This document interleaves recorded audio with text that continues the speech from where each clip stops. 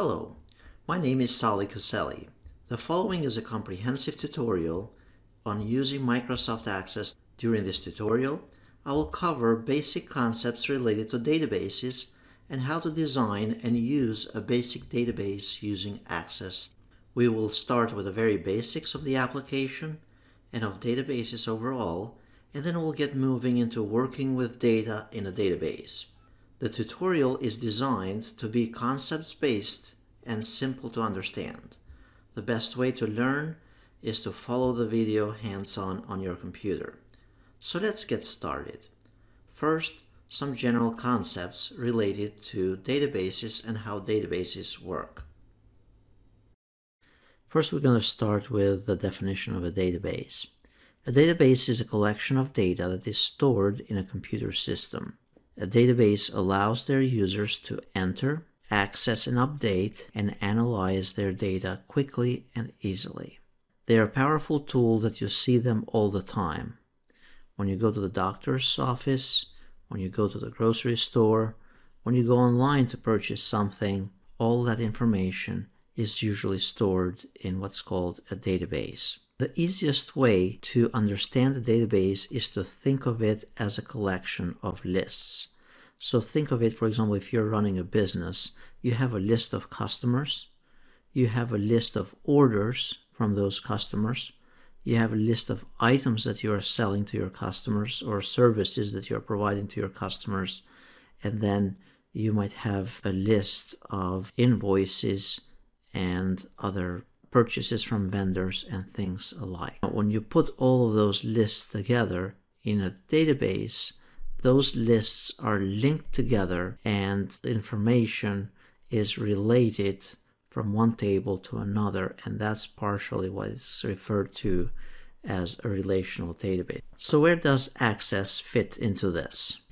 Microsoft Access is a relational database software program or Database Management System, DBMS, that runs on Windows operating system. It is used to manage data that is organized into lists, such as information about customers, products, vendors, employees, projects. So basically, Microsoft Access is a relational database management system created by Microsoft to store, organize, and manipulate data as well as to select and report on it. So some of the components, just to summarize them briefly, are tables, queries, forms, and reports. Tables, that's where the data is stored within the database. Then the queries retrieve specific data from the tables or other queries and displays only the data that you specify. Queries allow you to ask questions about the data in your tables. For example, I want just the first name, last name, and email address. Then the form is used to enter new records in a table. That's the data entry component of it. And to edit or delete existing records into the table. Usually the data is not entered directly into the table manually, but it is done through the forms. And then the reports very similar to the output, they summarize the fields or records from a table or a query in an easy to read format. For example, that would be a report that you print out, something that you print out to give to your manager for the sales of that day. Now, what does all of this look like in an actual database? Here's a really simple database that we have. We have a database called customer sales here, and we have a bunch of tables. In this case, we have the customer table, we have the contract table, and then we have invoices. So think again about these as separate lists. So the customer table, of course, it would have the list of customers. We have here the customer ID, company, first name, last name, telephone number, street address, city, state, and so on. So those would be very similar to what we have seen in Excel. You can sort this data, you can filter it and things of that nature, but think of it just as, an, as a list. Now, besides the customers, if you're running a business, then you'd probably have different contracts or different sales. So in this case, this is another example of a table, the contracts table. If we double click on it, we have the contract number, the customer ID, contract amount, the date, and then the type. And then notice we have another table here called invoices. And the invoice table has the date, number, and the item, what it was for, the amount, and whether it was paid or not. So those are the tables. Again, this is where the data is stored into a database. Think of it when you hear tables, storage. The next component in a database, like I mentioned earlier, it, is the queries. So if we go here, the queries, for example, are like we have the table customers. Notice we have a whole bunch of fields here. The fields are those names of the columns here. And let's say that we wanted to generate a list of only the first name, last name, and then let's say email address and some other pieces of information here. We create what's called a query, and we'll learn how to create queries uh, momentarily here. So notice I have another entry here under the customer table, and this is a query that we have run that I defined earlier. If I double click on it, notice I have only the first name, last name, telephone number, and email address. So that, uh, think of it, the processing of data based on a criteria. And this is an example of a form. The form is basically, instead of you going to the customer table, scrolling all the way to the bottom, and entering the data manually here, which is not recommended, you'd go under the customer data entry form, for example, in a form similar or nicer than this, and enter the records right here. And you just basically fill in the data. In real business, this is what the assistant would utilize for entering the data into the, into the database. And then the final component, as I mentioned earlier, it is the reports. And reports are very similar to queries, but they are just designed so that they can be printed out and that they look nicer. So these were some of the basic components of a database. The tables are where the data is stored. The queries are how the data is manipulated. Then the forms are how the data is updated and added onto and then the reports how the data is printed out or output.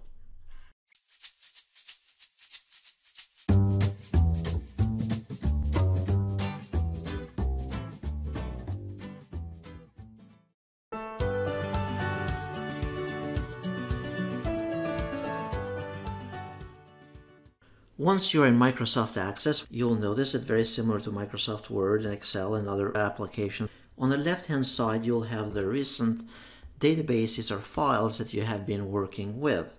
Then below you have here the option to go ahead and open a pre-existing database and then on the right hand side here we have the option to create a blank database that you will be utilizing in a moment and then further down here we have different templates that are available in Microsoft Access. These are pre-configured access databases that you can uh, utilize.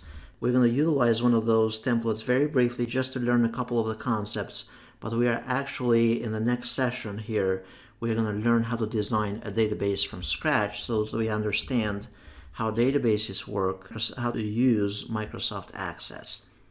So in our case here, I'm going to very briefly utilize here this database called Students. Now here's a concept that you might want to keep in mind when dealing with Microsoft Access databases. Unlike Word documents and Excel, where you open a document and you create the document and then uh, you manipulate it and all that type of thing, in Microsoft Access, as soon as you choose to create a database, you have to give it a name, and you, the first thing that you do is you save that database.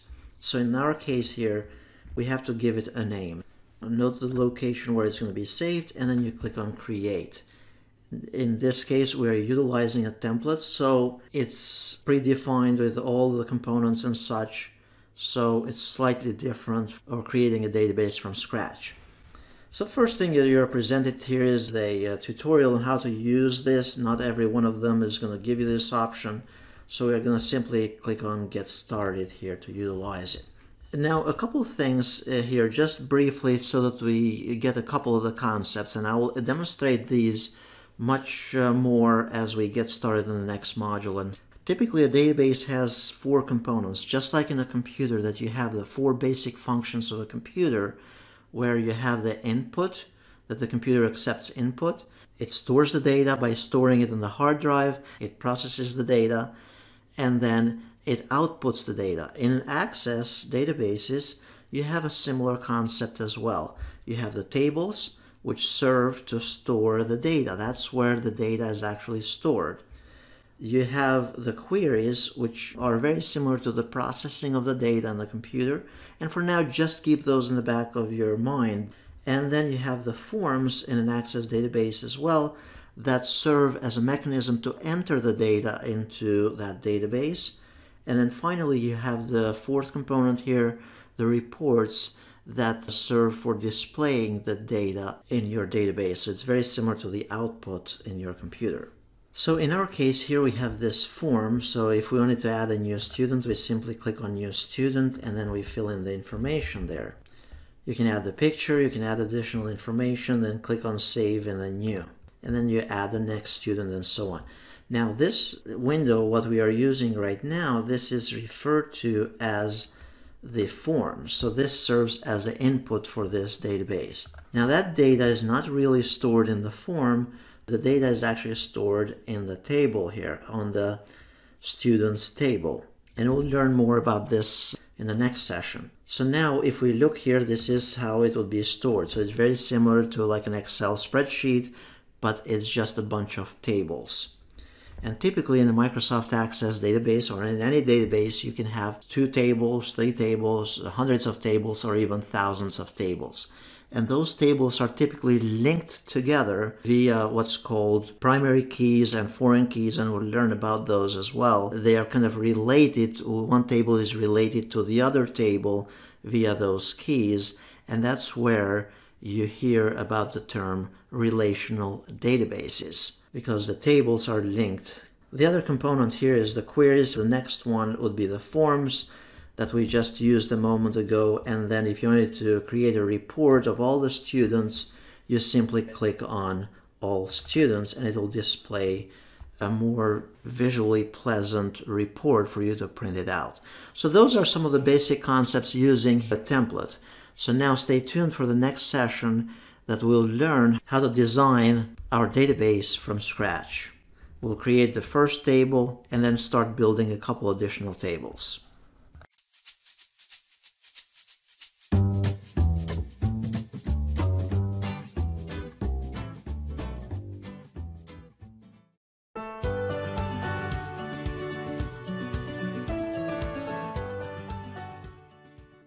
This session, we are going to create a database from scratch and we are going to learn about some of the various components of a Microsoft Access so we can kind of understand how the application works and where the different components are.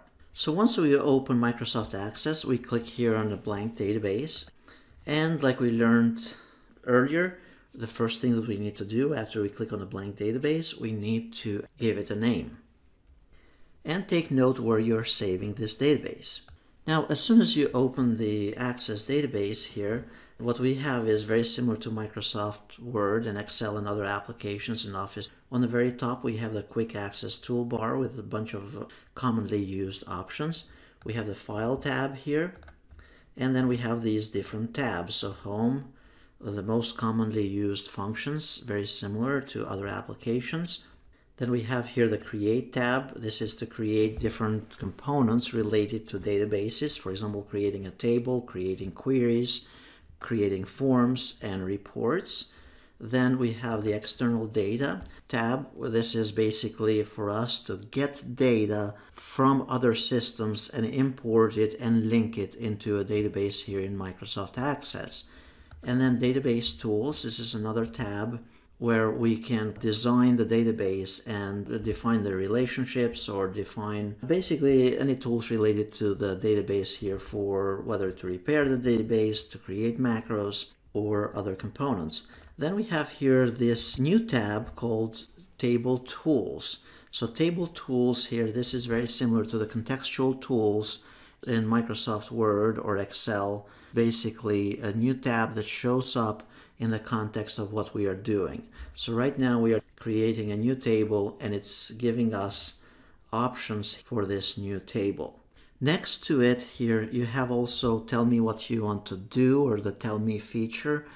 If you wanted to learn uh, how to use Query Wizard or how to create a new form or anything like that, you simply type in there how to do that. So for example, Query Wizard, and it just basically takes you directly to that option in order to learn how to perform a specific task in Microsoft Access. And then uh, notice on the bottom here you have a couple uh, other options and I'm not going to take the time to tinker with those too much. It's basically the design view and the normal view and we'll cover those shortly. Now creating our first database here. Databases, as I mentioned earlier, they are designed using tables. So typically, you'll have at least one or more tables. So now this is our first table that we are working with, and we'll give it a name shortly. So it will actually ask us to save and give a name to this table in a moment.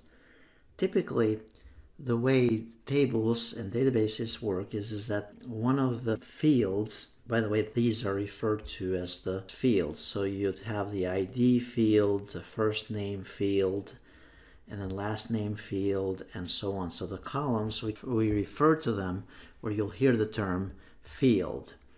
Then you'll also hear the term record. So you'd say this is record one or record two or record. The record is think of it as the row here. So you have more than one piece of information related to a record. So you have, for example, first name, last name, address, and so on related to that specific customer. Here, this would be the field name. So right now it says ID. So we could change that to say customer ID. The, the type here for customer ID, it typically it needs to be a number. So notice under the data type, this is an auto number. That means that when it goes to the next customer, it'll go so from customer one to number two, number three, number four automatically. The data type for each uh, one of those fields typically has to be specified. The next one, it's asking us to what type do we want to make this next field here. So the next field here, we are going to make it text and uh, this will be first name. Then the next one, we're going to make this field type as well, short text here, and then we're going to call this last name. And then the third field, we are going to make this, let's say, the street address, and this will be text as well. The next field here, it will be city, and then the next state, and then the next one zip. Now the zip code, we want that probably as a number field. And then the next one, you can pick whatever other field that you're going to utilize, but take note here that it can be various other fields. So it could be, for example, a date field when they signed up to be your customer and such. Or you can have an attachment for this customer. Or you could be able to post a hyperlink field as well. So in this case, we are going to create a field here for attachment. And uh, that would be, for example, for the picture for that customer or various other fields. Basically, this step, it's referred to as the designing this table. So we are defining how the fields are going to be formatted. If we are done with the design at this point, we could simply, we could do a couple things at this stage. We could either enter the data directly from this table that we, and by the way, the data that you enter from now on, from this point on, it has to be matching the type that you defined a moment ago. For example, this, this zip code has to be a number. It can't have letters in there and things of that nature. The other thing to keep in mind is, is that the data typically, we for now we're going to enter it here directly into the table, but typically it's not entered from the table itself. It's typically entered from the form of the database, and we'll learn about this shortly as well. Let's enter uh, just one record here for the sake of testing. And then if we go to the next record, notice it entered the customer ID automatically. So the concepts so far that we covered in this session, keep in mind when you define those fields, you need to specify the data type and uh, it's very important to think it through as to all the fields that you want in a table when you're designing your database. So then you want to make sure that all the fields that you'd want in that particular table they are included in there. You can add them later as well, but it creates, it causes complications. It's best to think it over initially.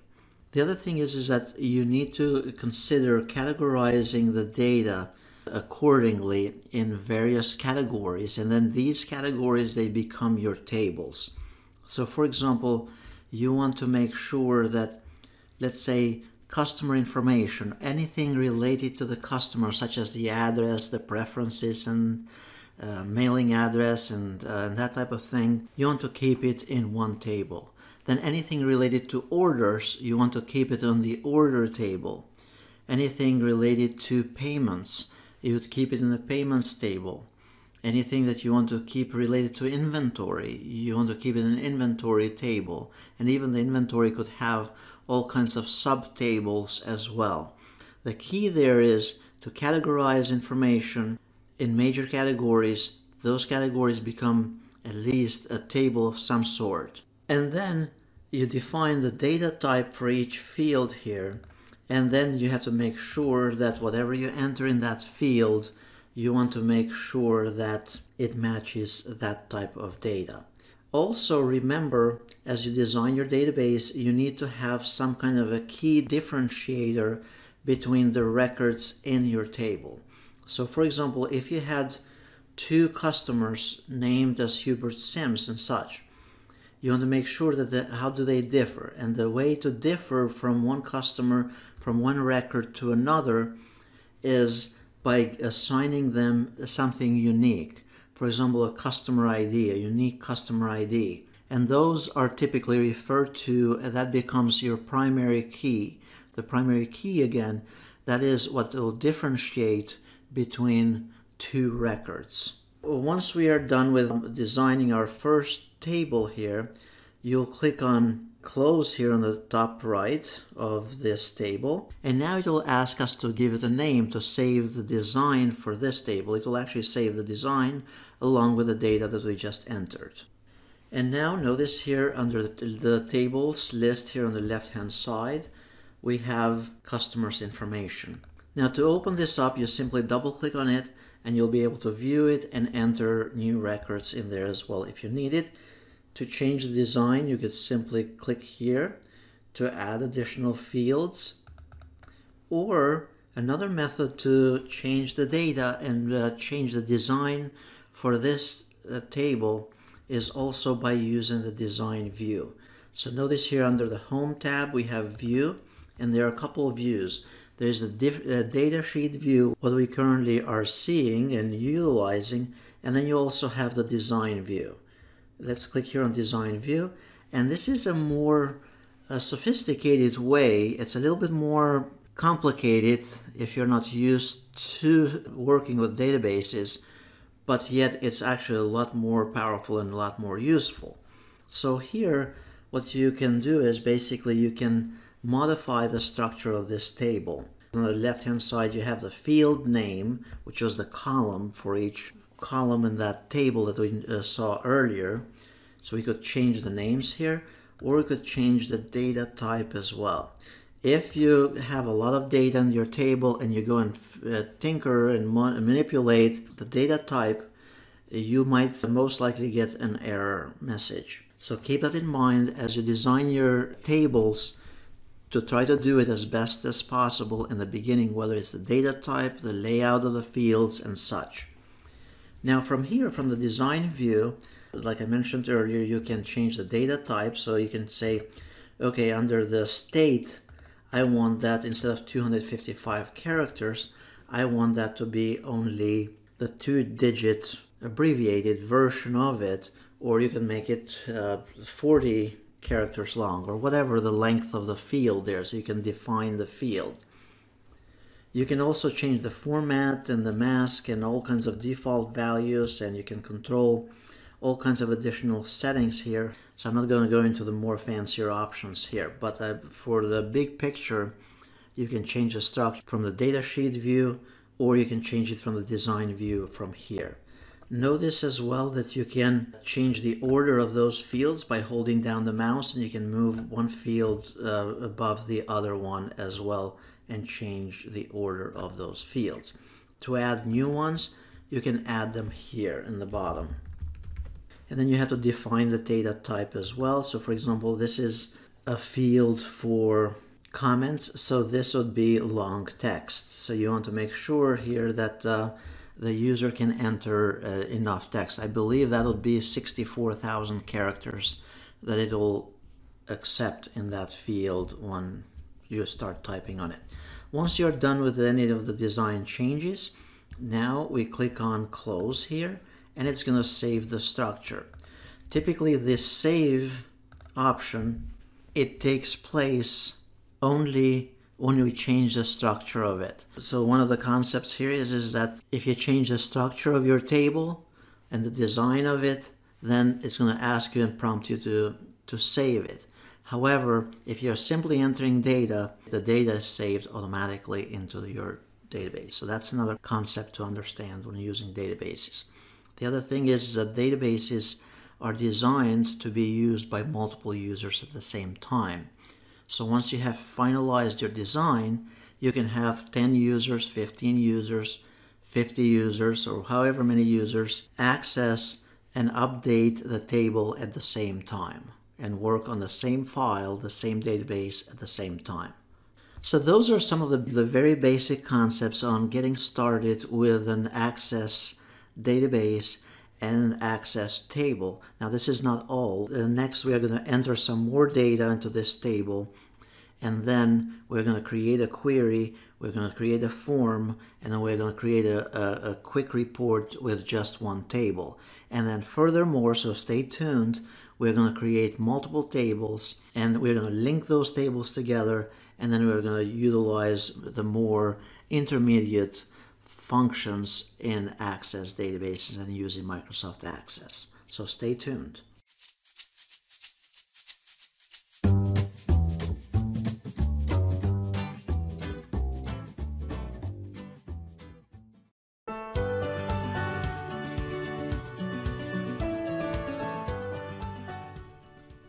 This brief video, we're going to learn how to add additional fields to a table in an Access database. And then we're going to learn how to create queries, how to create forms, and how to create a report based on a table in our database. Stay tuned, we're going to also learn later how to create multiple tables in a database and how to link those tables together and utilize additional functions in Microsoft Access.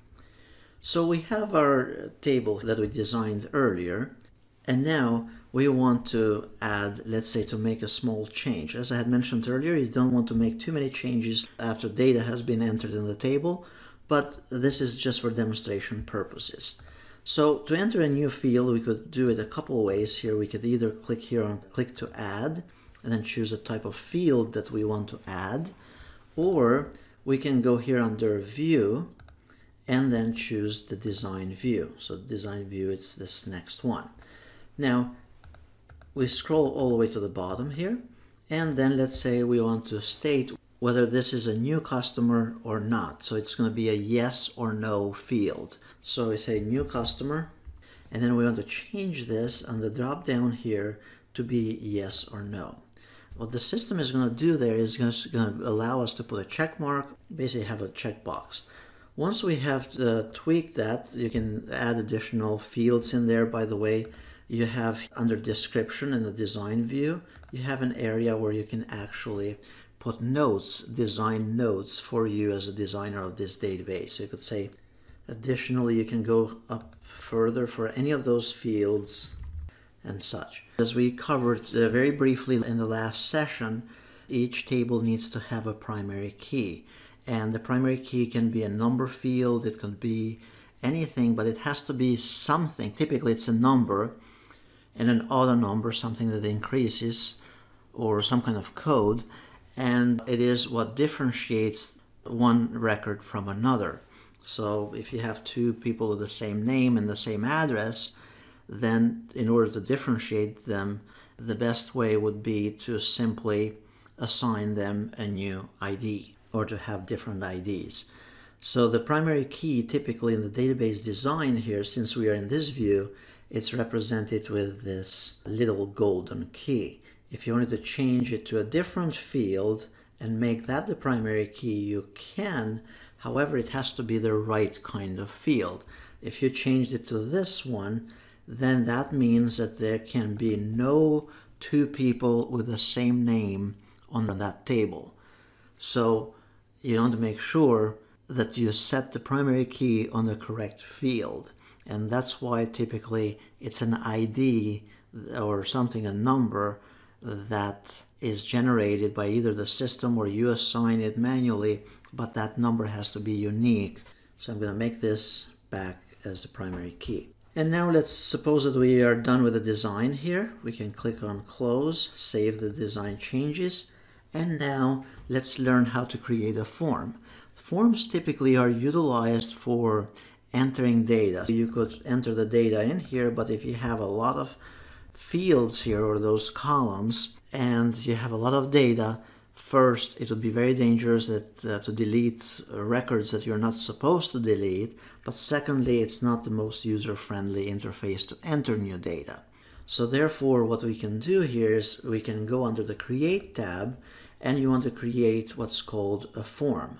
The forms, you can create them from scratch, you can design them from here, or you can use the form wizard. And I'd recommend that you utilize the form wizard. It's much simpler, much easier to do this go under form wizard here.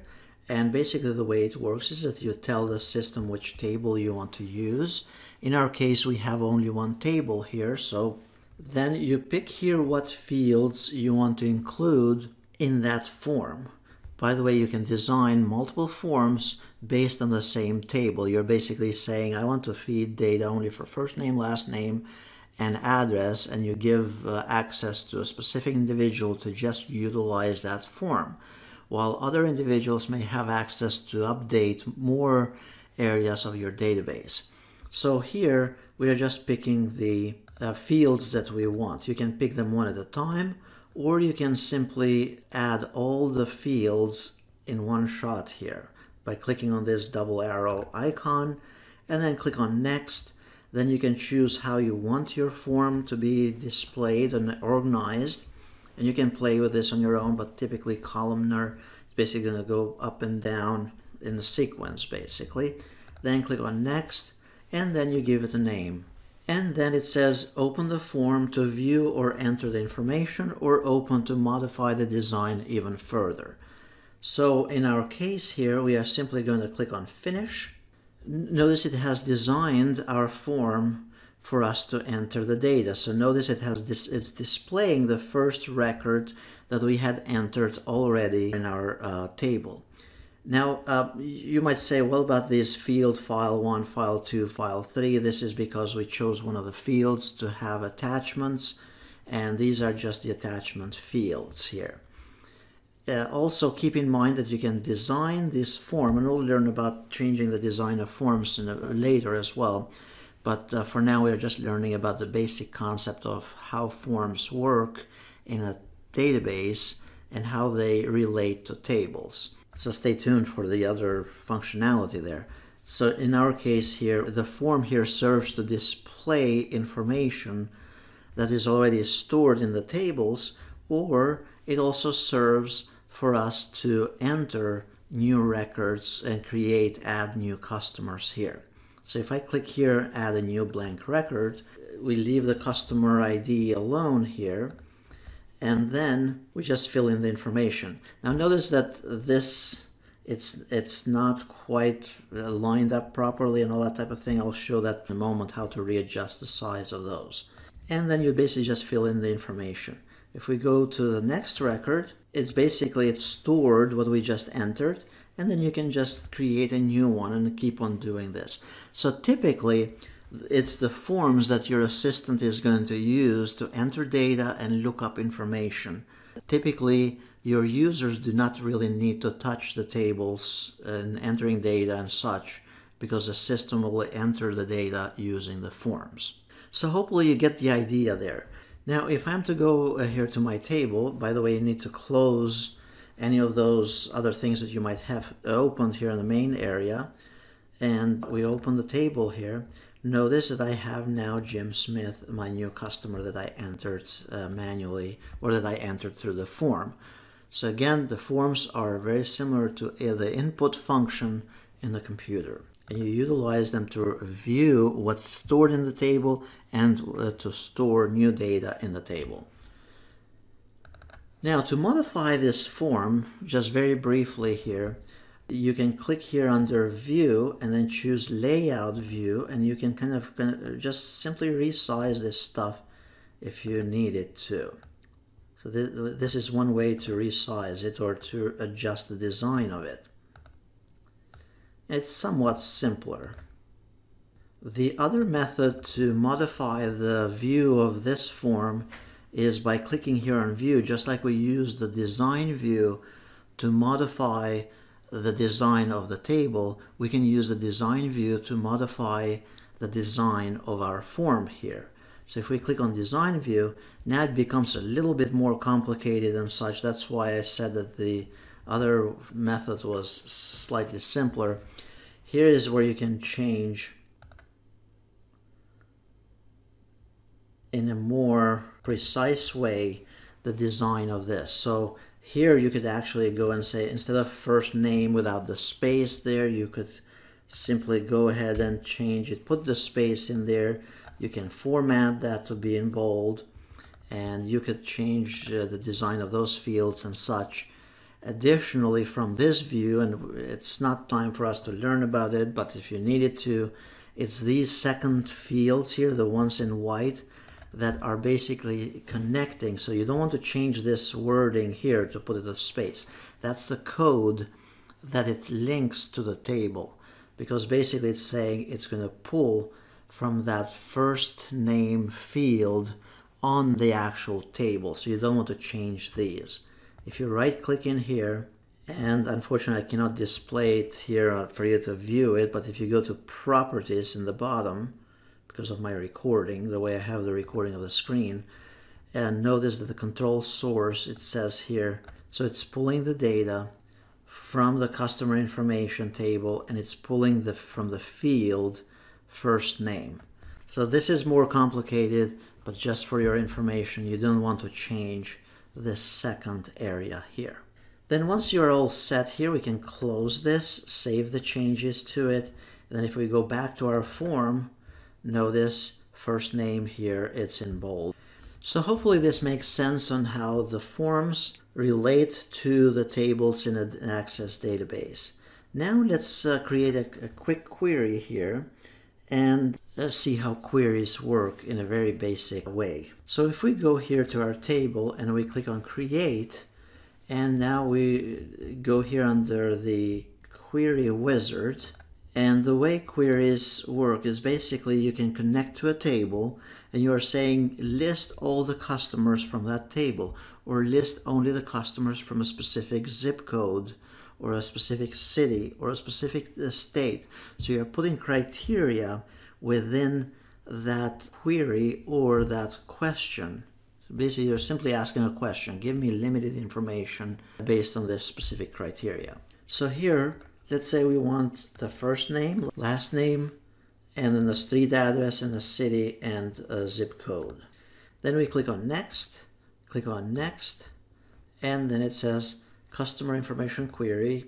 Click on finish, and notice we got only what we requested.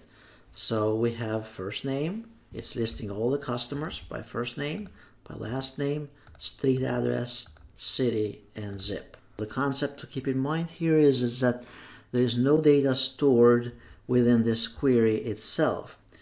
It, the data is still stored in the table. The query just stores the parameters of what our criteria is. So to run this query, all you have to do is you double click here on the query and it pulls the data right away.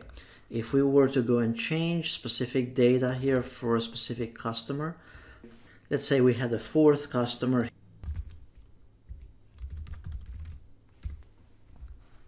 And I'm entering this using the form. Now if I go and run this query, notice I have customer 4 listed here. So the idea is, is that you can create as many queries as you want, whatever options that you want. You know, the manager might say, I need to know how many sales you did today. So you could say, okay, give me all the customers, give me all the items that were sold, but based on a specific day of the week or such. So that's very briefly the queries. If you needed to change and uh, we'll learn how to modify the queries, so just uh, check uh, the next tutorial on customizing and working with queries in a database. Now next in this session we are going to learn how to create a report. Uh, reports in a database are a key element as well. It's very similar to outputting information. You want to print it out, particularly it's uh, to organize the data in a certain way. It's very similar to queries, but the queries are displaying the data in a very Excel-like worksheet here. Uh, the reports are designed to look nicer so that you can print them out and hand them over to somebody. So to create a report, again, uh, you'd go under the Create option here, or the Create tab, and then you want to go under Reports, and my suggestion would be that you utilize the Report Wizard. So here you're picking what table you want to pull the report from. Notice that you can pull a report from queries as well. So the reports are built from tables or from queries. Whenever you build a report on the query, it, the report is actually going to that query and pulling the data. So for now, we're going to use it directly from the table. And then we say, I want the customer ID, let's say the first name, last name, and the street address and uh, whatever else that you want here, zip code and such. And then we click on next. Next, and then we can choose how to sort those customers, let's say by first name or by last name or by customer ID, and you can put different searching options here or sorting options. Click on next, click on finish, and now notice here we have the report called customer information. Notice it's slightly more visually pleasing here and you can also adjust the design of this very similar to how we did earlier for other components here. So we can go and adjust the design by going to the layout view and then resize those fields accordingly. Now typically the, the numbers here, this number sign, that means that it does not fit in that field. So you need to still resize this. Or the other method here to, to adjust the design of this is by going here under view and then go under design view. So again, the concept is whether you want to change the design of the tables, the forms, or the queries or reports, you have the different views that you can change the design of them. And particularly you want to use the design view for designing any of those components of the database. Now when we are done with this report, we close it. Since we tinkered with the design here, just click on Save to save it. Close the other elements as well. And then go here under Customer Information. This is our report. And that's the data that it's pulling from the table here. So hopefully all this makes sense in how a database or a very basic database with one table works and how the various elements of the database, particularly those key four components, there are other components that you add as well, such as macros and things of that nature, but these are the main key components of a database that you utilize typically.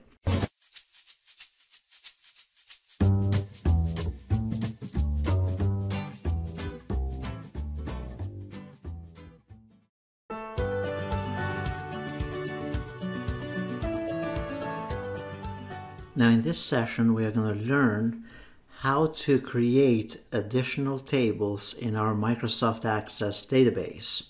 Typically an Access database or any database out there will have more than one table and you can have hundreds and thousands of tables depending on how big your database is. For this tutorial you should have access to a link to download the working files. The working file is a zip file here. And what you need to do is you need to double click on it after you have downloaded it. And then you want to click on extract all. Once you extract them all, take note where it's going to extract this stuff. Click on extract here. And then you'll see three files in there. So we'll utilize those three files to build an access database or to basically build three additional tables by importing the data from those files. In order for us to get a better understanding of how Microsoft Access works, if we had to enter the data manually, it would take us a very long time. So we're going to build three tables. One of them is going to be based on customers, like the contact information for our customers. The next one is listing the contracts for those customers. And then a third table is going to be the invoices. So stay tuned how we do this with the next session here. Keep in mind that this data, it's two of those pieces of data are in Microsoft Excel. So it looks like this. And you can have that data in Microsoft Excel already in a system of some sort. So basically we have the customer, the company, first name, last name, and the information related to the customer. Notice the customer ID here is a unique number. Then the next one, the contract list. Notice you have the contract number, the customer ID, you have the contract amount. It's another Excel spreadsheet. And then you also have this invoices list and I have this on purpose here as a text file because you can import data from a CSV file or a, a, comma separated values file and this is what that would look like. So you have the different values here the invoice and all the fields are separated by commas. That's why it's CSV because of the comma separated values and then notice that each value here, it's in quotes. So we'll learn about how to import this into Microsoft Access database and create three tables from these.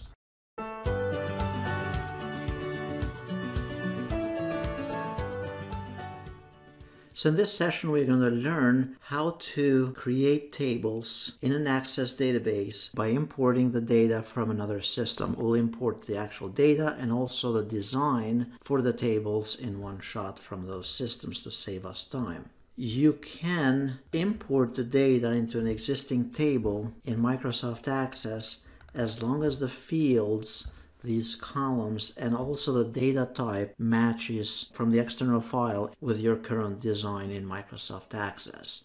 Since we are starting here, understanding the concepts here using Microsoft Access, we're going to bring both the design because I hope you understand how to design the table and the fields and such by what we have covered so far in our tutorial. If you wanted to do this on your own and such, what you'd have to do basically design a table if you wanted to bring it into an existing design you'd have to take let's say the customer list and when you design your table in Microsoft Access when you go to those fields here in the design view those fields have to match. So you have customer ID here from your Excel file or external system. It needs to match along with the data type then you'd have to have another field in here called company and you'd have to create that.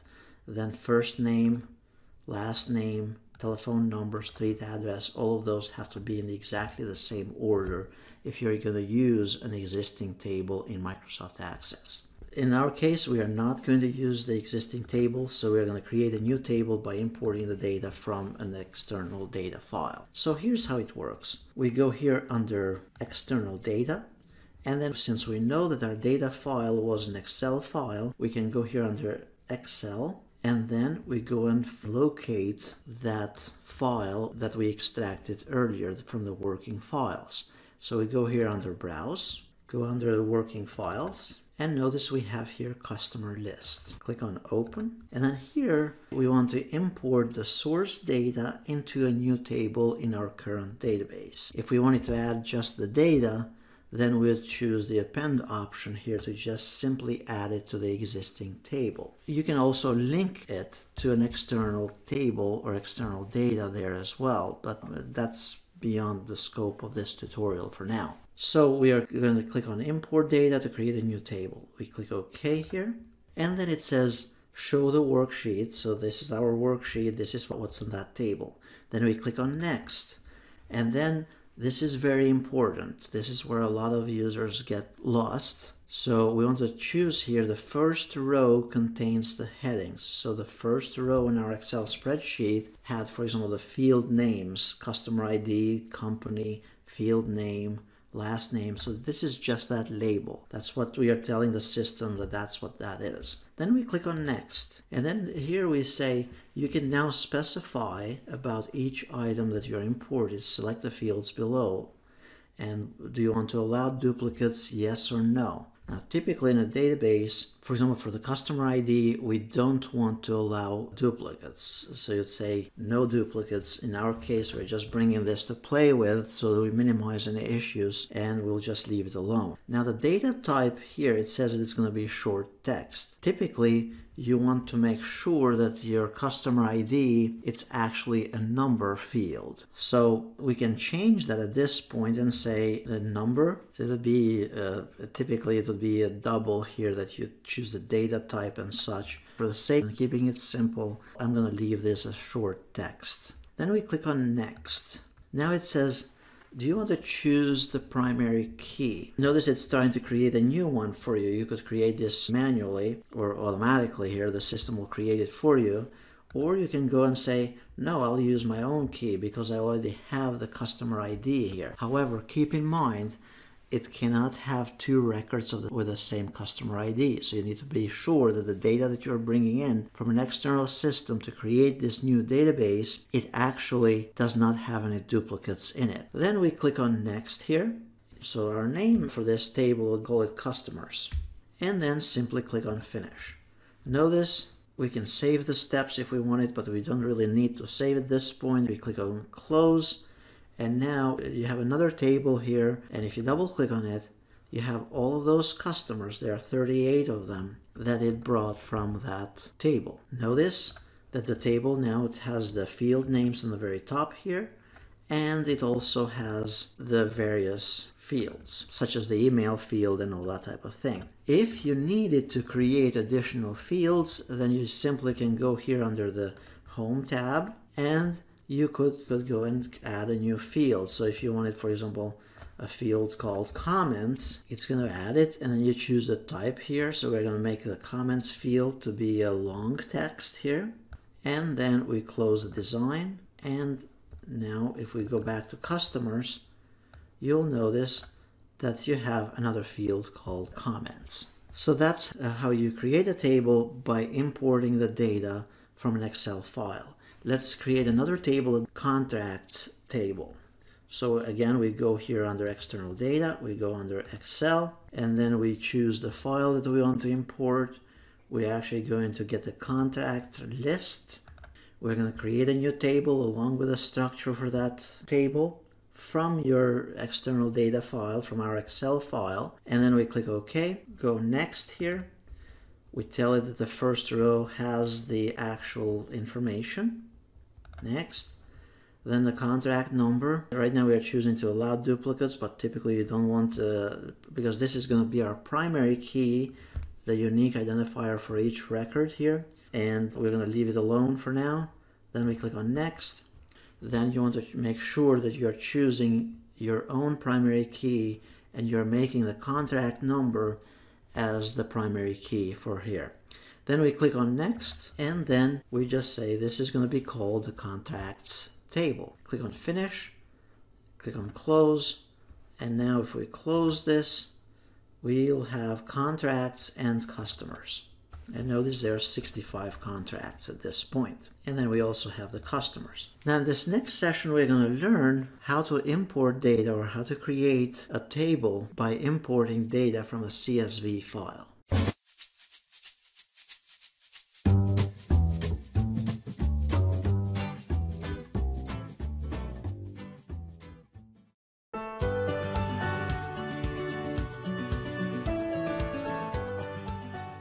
This session, we're going to learn how to create a third table, including the structure from a CSV file in Microsoft Access.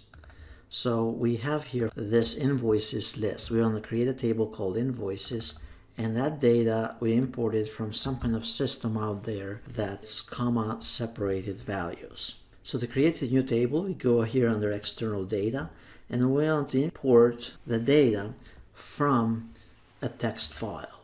So we click on next here, locate wherever our file is and notice it's under my working files and this would be also in your working files if you expanded it. We choose invoices list, we click on open, then click OK and then we want to tell the system here that this is a delimited type of uh, data file which the values are separated by a comma. And you'll know that when you receive the file from whatever system there it'll typically be a CSV file.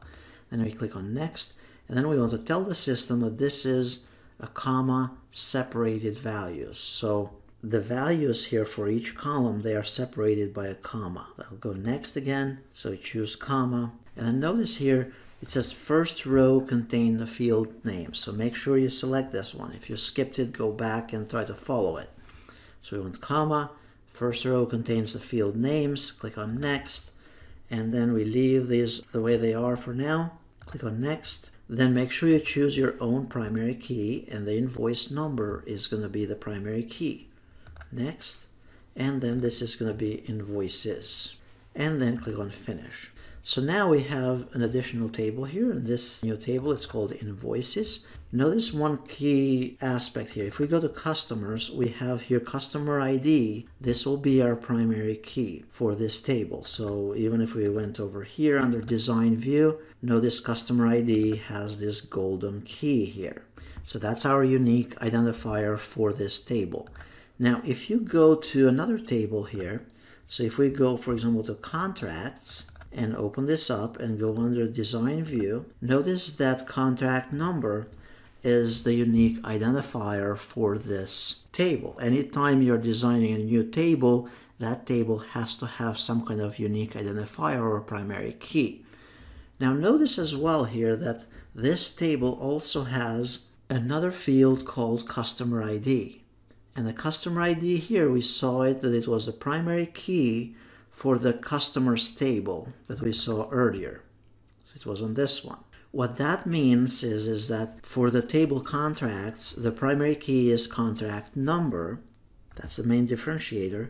And now customer ID is what's called a foreign key. Basically, it would give us the option to link customer ID from this table to the customer's table with customer ID field. So the concept there is, is that in a database, in a relational database, the tables are linked together one to another and such using primary and foreign keys. The foreign key is the common field between two tables. It's that field that is the secondary, it's not the primary key on that second table. So, for example, here we are saying we have a contract with this number, but then this contract is associated with a customer of a specific number.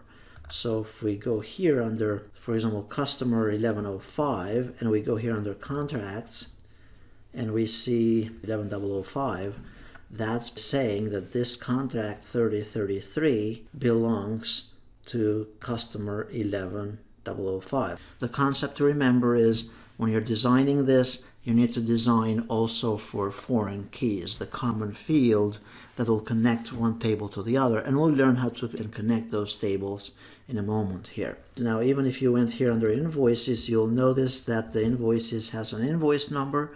That's a primary key.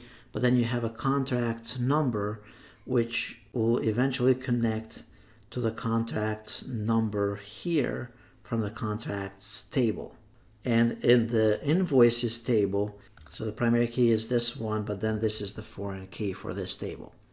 So primary keys and foreign keys are two very important concepts that play an important role when you're designing the database because they'll need to be linked together. And that's what we'll learn in the next session here. We'll learn how to link the tables using the primary keys and the foreign keys.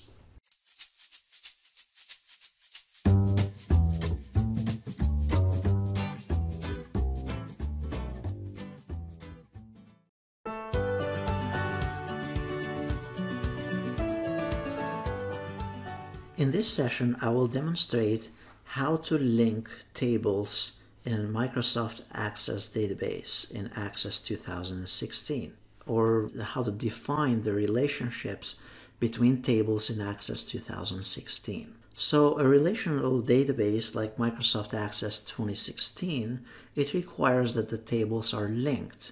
And typically the key component for linking tables in a database is the proper design of the tables to start with. And typically what you want to do is that you want to have the primary keys and the foreign keys properly defined in the tables. Before we, I further explain this, I'm going to uh, clean up our database here. So I'm going to first delete this table that has nothing to do with what we are planning to do in the next uh, couple minutes here. I'm going to delete these queries as well. By the way, you don't want to do this on a real database unless you're sure that you want to delete these. And at this point, we have three tables. So we have the customers table, we have the invoices table, and the contracts table. To learn how we did this, uh, please refer to the previous tutorial. We have the primary key for customer ID. This is the primary key for this table. And then under contracts, we have the primary key being the contract number. And then the foreign key is the customer ID, which is supposed to match with the customer ID, which is the primary key on the customer's table. And then the same way under invoices, we have the invoice number, which is the primary key for the invoices table, but then the contract number, which is the foreign key in this case, goes to match with the primary key of the contracts table. So as you design the, the database, you need to factor in and plan on what the foreign keys are going to be and how the tables are going to be linking with one another when it comes time to link them. And this has to be done during the design process. Now, at this stage, we need to close the tables. And then the next thing that we need to do here is we need to go here under Table Tools, and then we're going to define the relationships. So we go here under Relations, and then we choose to add the customers table, we choose to add the contracts table, and then the invoices table, and then close this. Now notice you can even organize them any way you want here. You want to organize them fairly logically if you can, so that you see the structure depending on how you organized your database. To link those tables together, notice we have here customer ID from the customers table, and we have the foreign key here under contracts for the contracts table. So what you do is you click on customer ID from the main table and you drag it and you hold the mouse directly on customer ID on the contracts table here. And then you let it go. Now at this point, notice it's saying it's going to use the customers table linking to customer ID in the contracts table. It's going to be a relationship of one to many. What that means is, is that you can have one customer with multiple contracts and that's hopefully what you want. If you have a small business, you want multiple contracts from the same customer. You could also enable here what's called referential integrity. I'm not going to check it for now to keep this simple, but that means that if you deleted a customer, you're probably never going to have that customer again, then you want to delete also their contracts. That's what their referential integrity is. It's going to do a cascade update and cascade delete. If you remove the main source, it's going to remove the items that follow with it.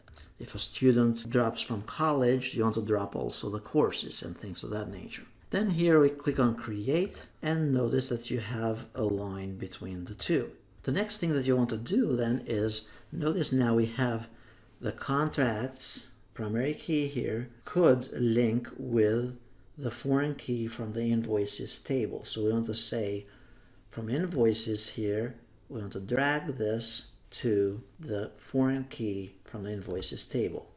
Again, the same idea, contract number to contract number one-to-many relationships, that means that you can have multiple invoices for the same contract. That's what that means. And by the way, you can move this however it makes most sense to you. If for some reason you chose the wrong thing, notice that they have to match here. Customer ID has to be under customer ID. It can't be linked to a different field. If for some reason you had it improperly matched there, you can right click so or select it once and then you can choose either edit relationship or simply delete. And then if you want to delete it, you say yes and then now it's disconnected. And then you can redo it again. So you just drag here customer ID to customer ID and then click on create again and now you'd have it the way you wanted it. Once you're all set with this you need to click on close. And that's where the system is going to save these links between the tables. Because unless these tables are linked together we cannot get data from one table to the other. And when we link these tables through this relationship that we can actually go and say I want for example a query here or a report of some sort that I want the first name last name and then I want the contract number and then I want the amount and the date and the contract type. That's when you can kind of cross and pull the data from multiple systems. Then we click here on close and then it's going to ask us to save the relationship. Here we say yes and now the relationship has been defined and now we can actually create queries, we can create reports, we can create forms to pull data from multiple tables here. So this is where the beauty of Microsoft Access actually takes place.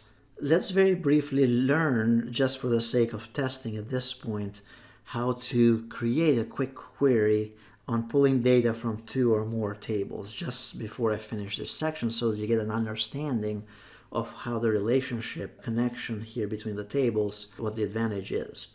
So if we were to look here at customers, notice I have the customers table, but I don't really have any contract information for this customers table. And if I go to contracts, I have only contract information, but I don't really have any customer information other than this ID. So now what we want to do is we want to pull the customer information and the contract information and have it displayed a certain way. So here's how it works. You go here under create and then you go under query wizard and then we click on OK and then we want to pull here first from the table customers. Notice that we have three choices where we can choose from. So we choose customers. And then now it's just a matter of whatever we want here. So we say, I want the first name, the last name, and then let's say I'm interested now from that table, I'm interested on only these two fields. The next thing that I want is I want to go under contracts and then I want to pull here the contract number. I want to pull the contract amount. I don't care for the customer ID because I know I have their first and last name already. And then I want to see the date and the type of the contract. So notice it's about six fields here from two tables. Now I click on next and then click on next again. And now we give it a meaningful name. So whenever you're defining the queries, you want to define it with a meaningful name. Contracts by first and last name. Click on Finish.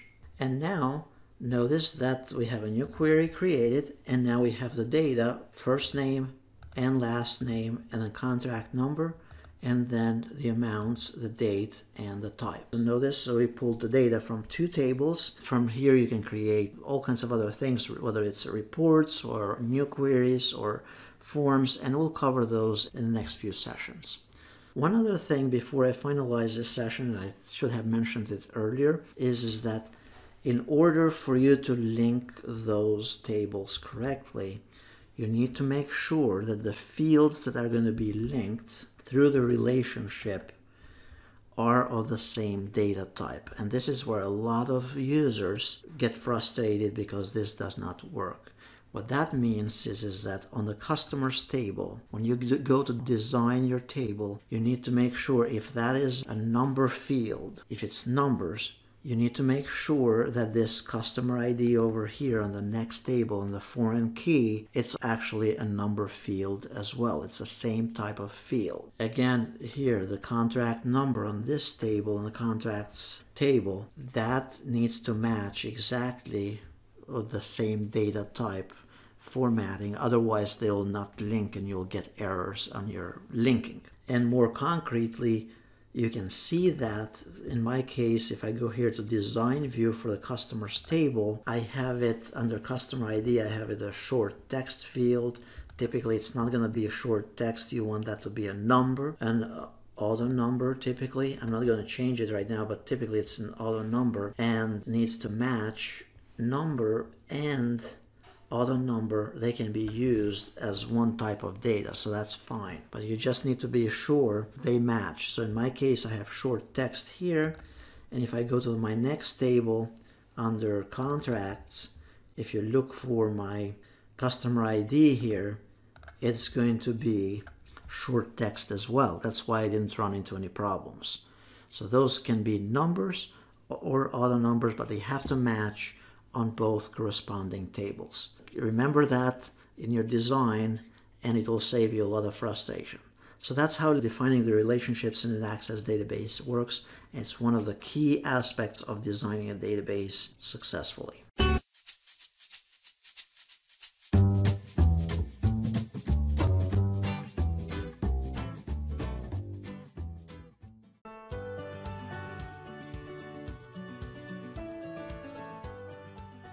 This session, I'm going to demonstrate how to create a compound form to input data between two or more tables in Access. So once we have linked the tables and defined the relationships in a database, then you can do a lot of wonderful things and you can enjoy working with Microsoft Access. And now we have linked those tables together and we have defined the relationships to basically create a form. Forms they can be created either on an individual table. For example, if I go here under create and I go under form wizard here, and let's say I want customers and I want to create a new form for all my customers, click on next, and then next, and then next again.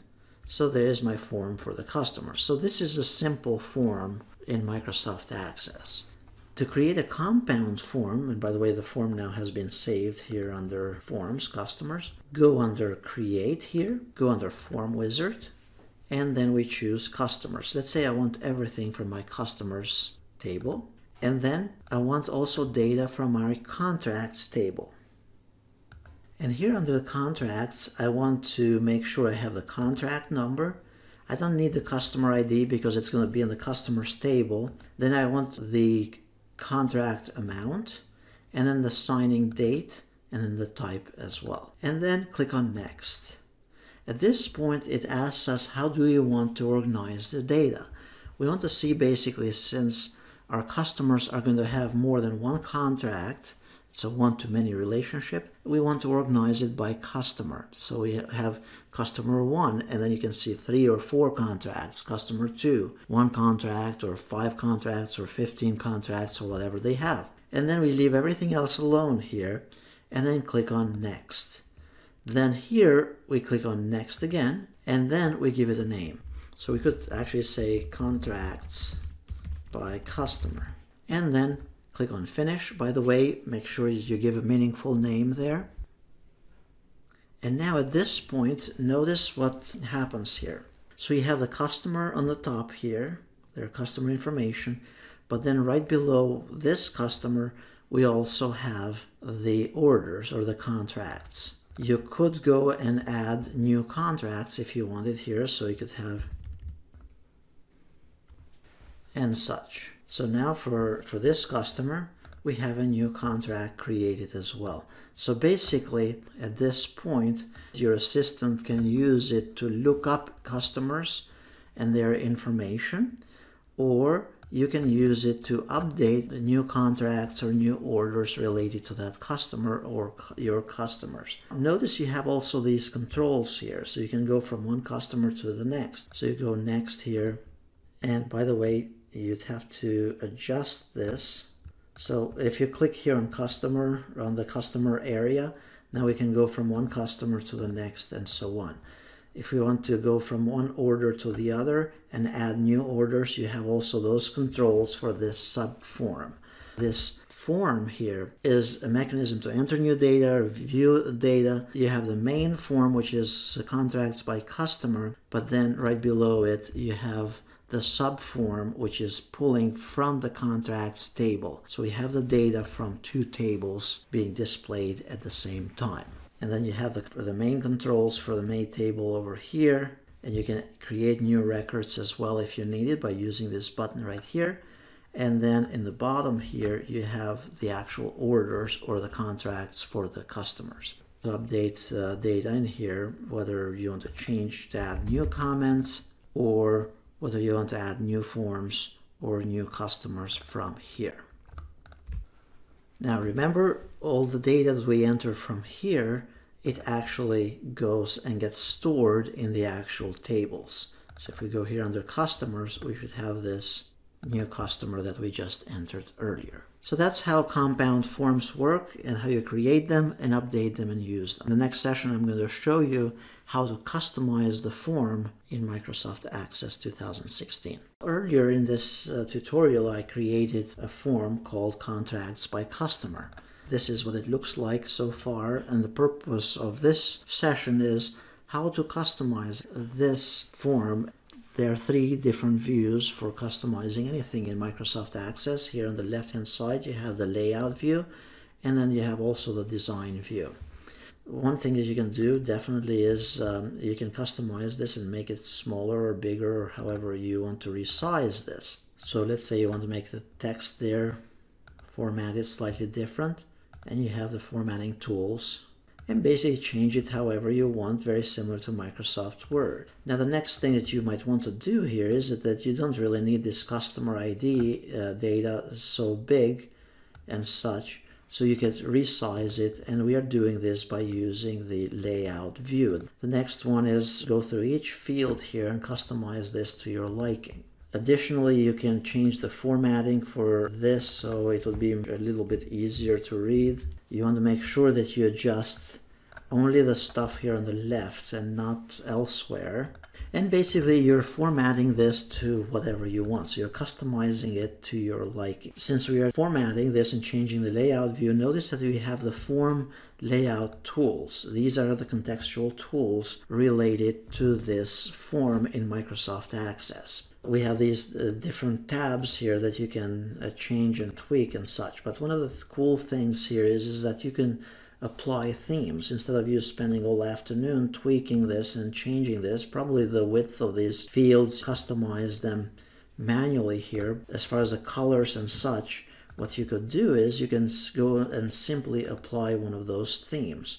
So you pick from one of those themes here and notice it's going to change the design, whether it's the font or whether it's other components related to this form. So pick one of those themes and then further adjust it and then notice that you have also uh, various color schemes here that you can apply.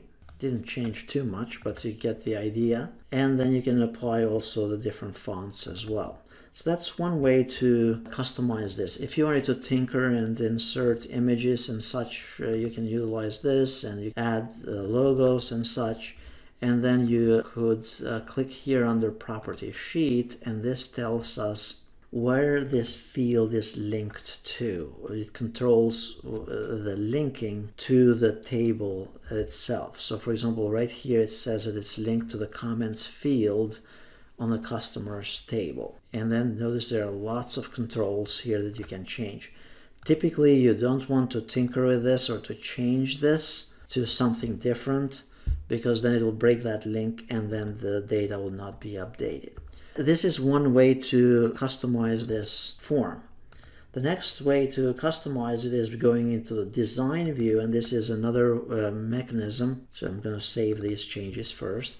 This is a little bit more in depth. It shows the data where it's linked behind the scenes with what fields and you can line things exactly the way you want them appropriately and all that type of thing.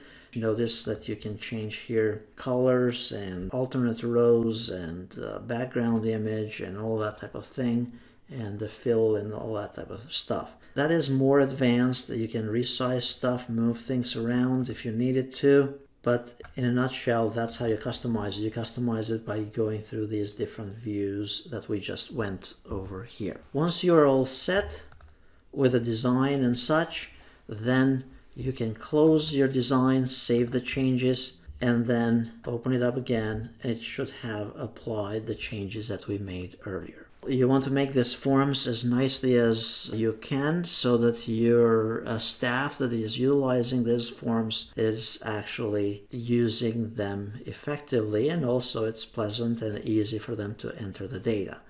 Keep in mind that you can create more than one form based on the data. So if one of your assistants needs access to only a couple pieces of data here, then you create a form specifically for them. And for others, you create a more complete form and such. So hopefully that makes sense and that it was helpful.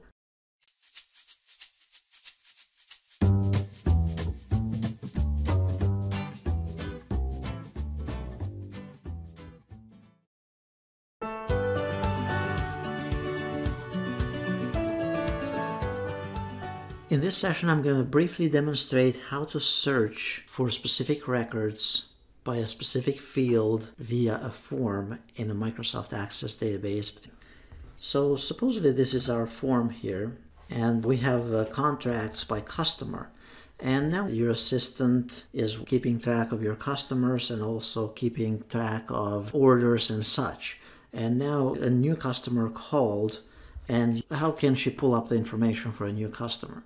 So you can pull up the information by using a variety of methods here, by using any of these fields. All that the assistant would have to do is click on a field that says searching by customer ID.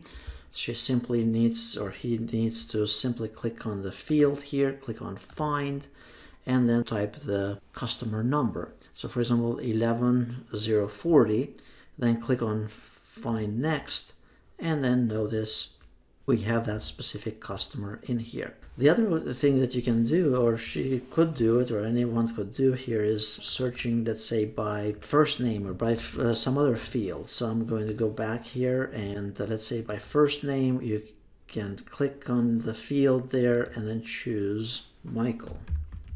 Find, and you can have this over here as well, and there is Michael Ingram phone number and information related to that specific user. Then you can find additional ones if needed as well. So notice there are two records with that. You can also filter the records by a specific field. So let's say you wanted all the records to be displayed, the customers that start with the name, first name Michael. So you can select it here and go under filter and then Notice you have all the different options here. So you can simply uncheck them all and then pick what you want here.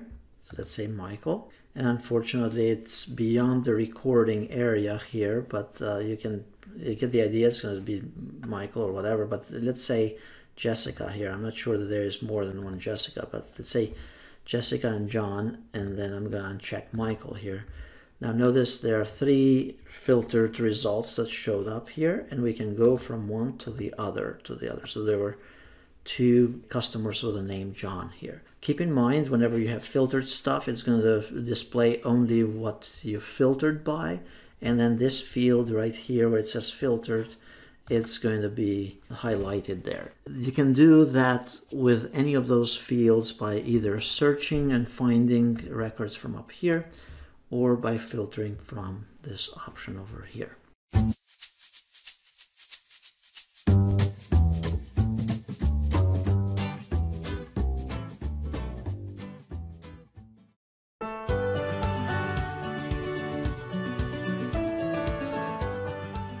In this session, I'm going to demonstrate how to create queries from multiple tables in an Access database. We'll create those queries using the query wizard. And then in the next session, we are going to do the advanced query method. In order for us to create queries from multiple tables, we need to first make sure that the, the tables have been linked via these relationships here. So you can check that from the database tools and then relationships, and you should see these links.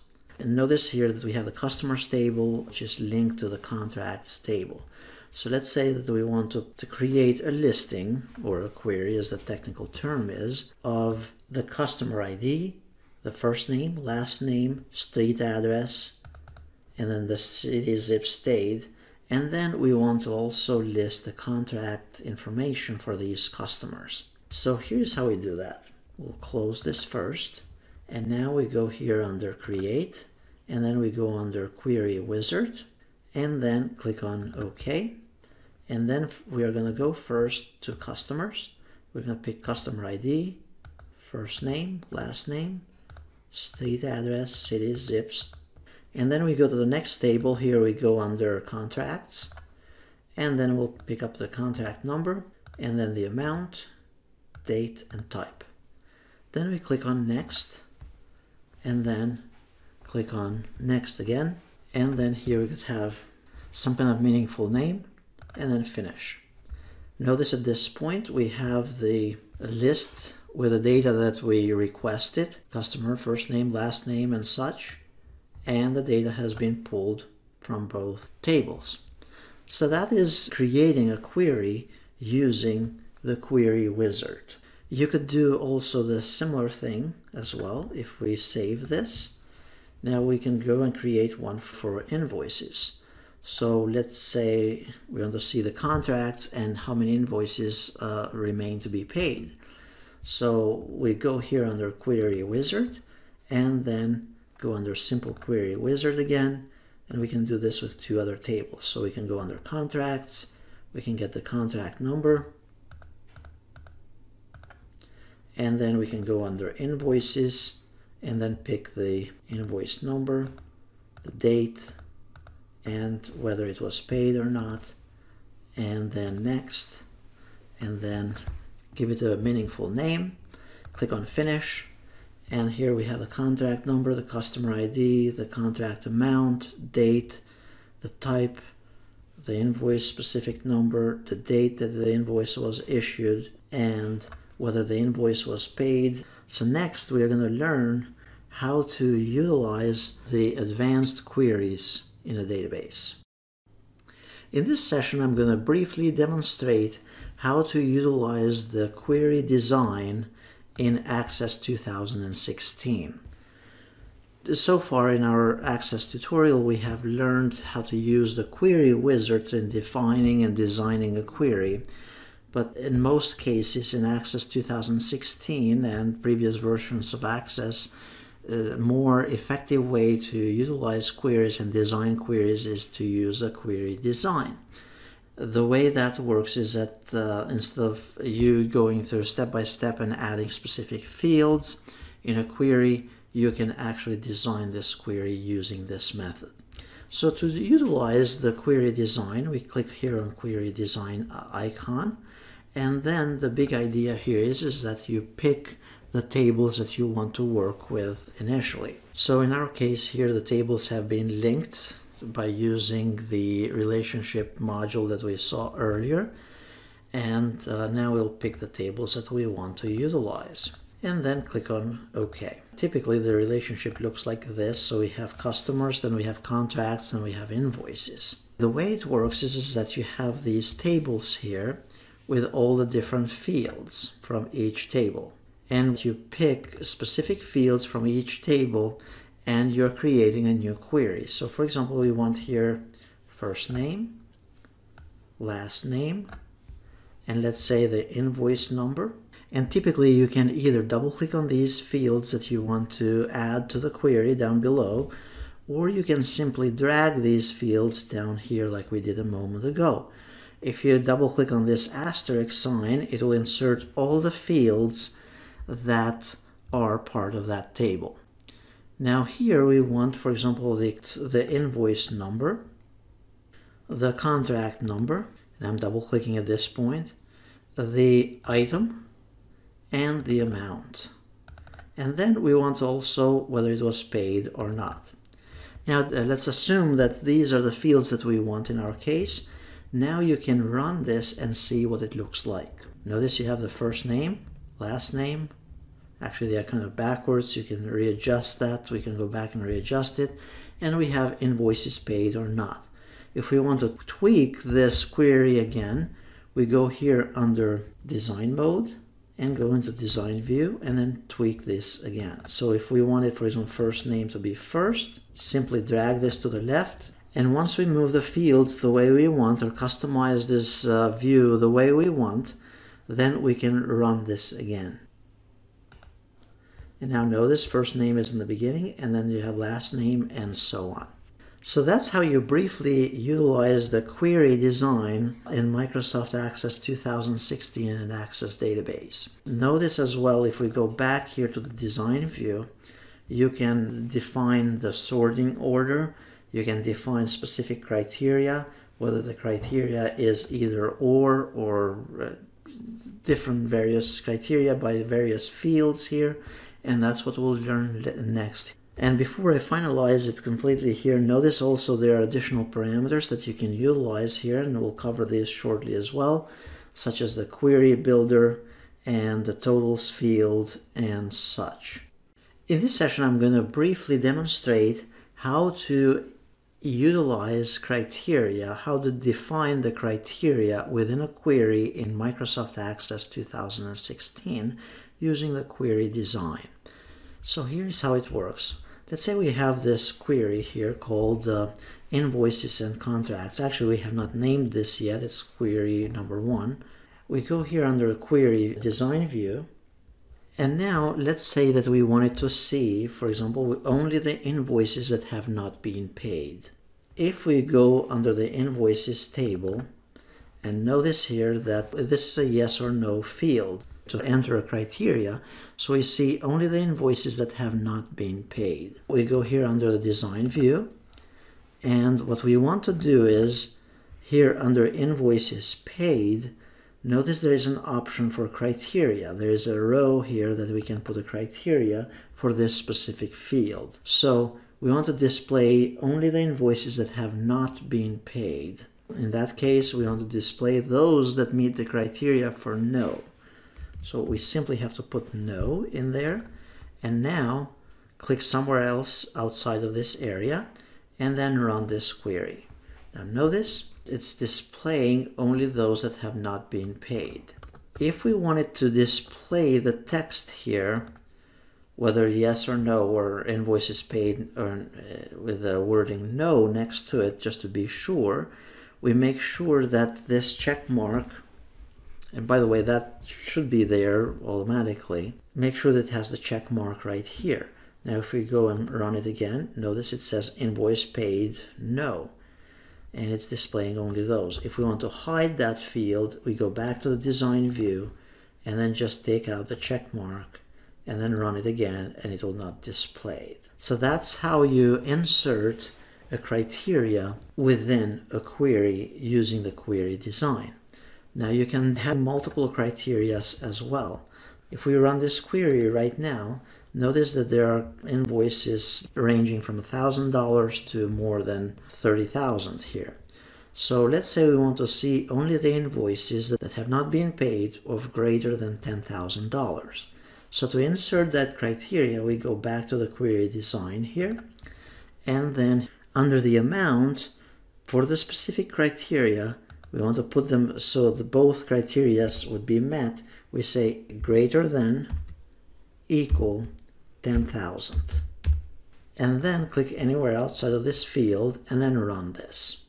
So we are saying we want the criteria, all of these fields, plus the amount needs to be greater than or equal to 10,000 and then the invoice needs to be not paid. We run this and now notice we have all these invoices displayed. The other thing that we could do is we could sort this and we can go back here to the design view again and customize this further. So under the sorting criteria, we say we want to sort this in descending order. We want to see the largest amounts first, uh, followed by the smallest ones. So notice we are doing three things so far. Click on run again and now notice the $105,000 invoice comes first and then the rest are following that. Then if we go back to the design view, we could even insert as many criteria as you want and I hope you get the idea. So you could sort, for example, by a specific zip code or by a specific city and so on. Under city, for example, if I wanted to add an additional field and I want to insert it right there, just simply drag it in there and then we could have various criteria. So right now I don't have any criteria by city. And if I run it, notice it's just going to display the city. But let's say that I want the city Lansing or Holland. So I want to display those two cities. Now in my case here, I can go back to design view and I'll enter two criteria. So one of them will be Lansing. Now you have to type that correctly. And I can say or Holland. So it could be either one of them. And then run them. Notice it is displaying only the city Lansing or Holland. But then notice that the criteria is not quite what we were expecting earlier. Notice that we have 2500, so it's no longer just 10,000 or more. The reason for that is because we have here in our criteria stating that the criteria could be Lansing greater than 10,000 and invoice is not paid, or anything from the city called Holland. So we either have to move this up here or utilize the criteria either or that we were using earlier.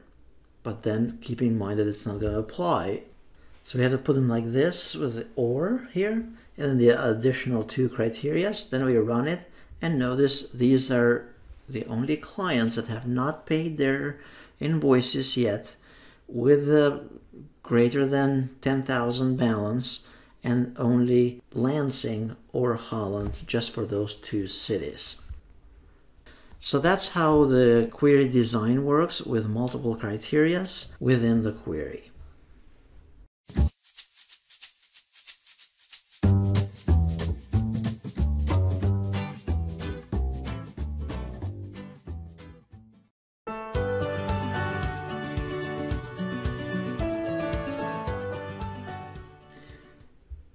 In this session, I'm going to demonstrate how to use the query design and also define calculated fields or have calculated fields as part of the query design.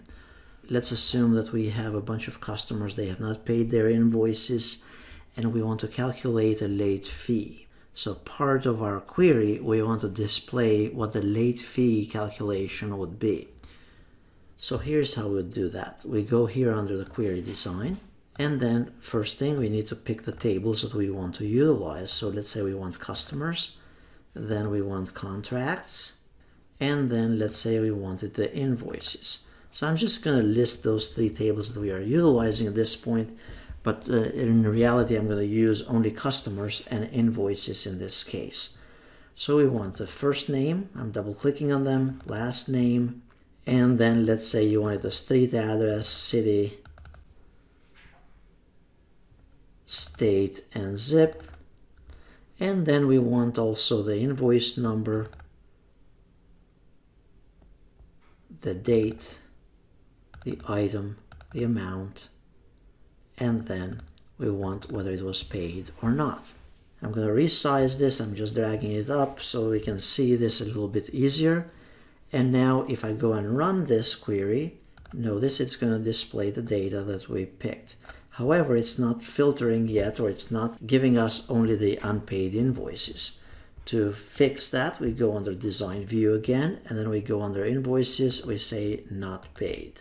So whether it was paid under the criteria, notice the criteria row here, we say no. Now, the next thing that we want to do, and by the way, if we run this again, notice it will be displayed. Now, if we go back, we want to create here a new field that will say late payment. And then part of that field, we wanted to calculate what the late payment would be. So the way you do that is by clicking here on this option that is called Builder. So we want to build a new calculated field. We click on Builder. So first I selected the new field where we want to do this. And then secondly, we want to utilize the Builder function. Before we can utilize the Builder function, it's best to save this query first. So we could say, uh, just click on the X here on the top right, and we'll say yes. Then we'll call this late fees and then click OK. Now we go back here to the late fees and we run this query. Then we go under the design view. By the way, you could right click on it and choose design view as well to get to it. And then we scroll all the way to an empty new field here. And then we want to click on builder. On builder, by the way, once you save it, notice we have all these fields right here under the expression categories. That's basically telling us that these are all the fields that are being utilized as part of this query. So all that we have to do is we click on the invoice amount and double click on it. And notice it's putting it in brackets and such. And then we do the asterisk, which is the multiplication. So we want to say the amount multiplied by some kind of percentage. So you could say it's 5% late fee for any unpaid invoices past 30 days or whatever. So then you do that by times 0. Point, or as part of your database, you could design another field in there or column to, say late fee, like how much the late fee would be. And then in that way, you don't have to enter the 0.5 manually. You could just multiply the late fee, multiply it by the actual amount of the invoice. In our case, we're just going to do it this slightly manually. So we have the invoice amount times 0.5 and then we click on OK. You could have simply selected another field there instead of 0.5 like I mentioned a moment ago. Now we click OK and then notice now it enters all kinds of codes here.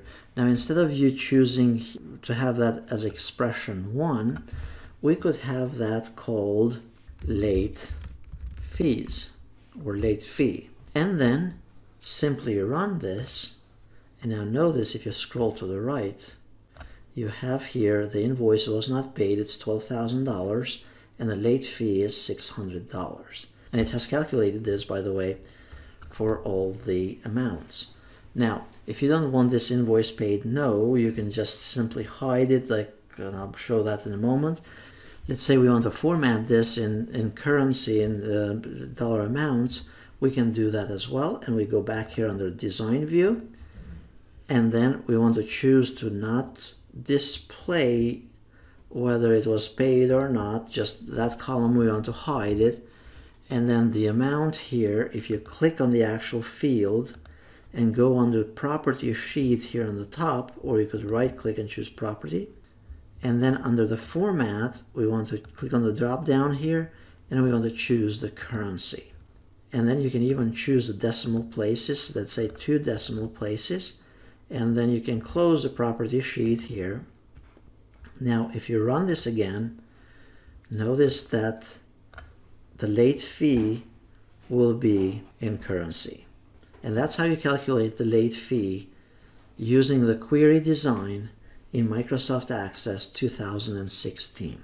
Now we save this and then at any point for any of the customers as you enter and change data this will be generated automatically.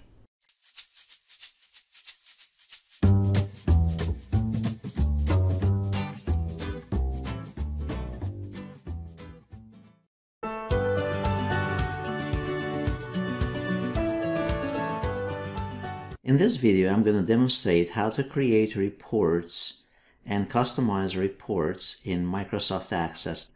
This process is going to start with the very basics, and then we're going to move into some of the more advanced features, customizing reports in Microsoft Access. So in this case, we have a database with three tables. And uh, if you wanted to learn more as to how to work with an Access database, please refer to the previous videos on this tutorial. So we have three tables. We have a contracts table. Let's assume we have contracts for customers. and we have a customers table. And then we have an invoices table. So the tables look like this. Now in our case, we also have those tables linked together, which is a common feature of an Access database or any of the relational databases out there.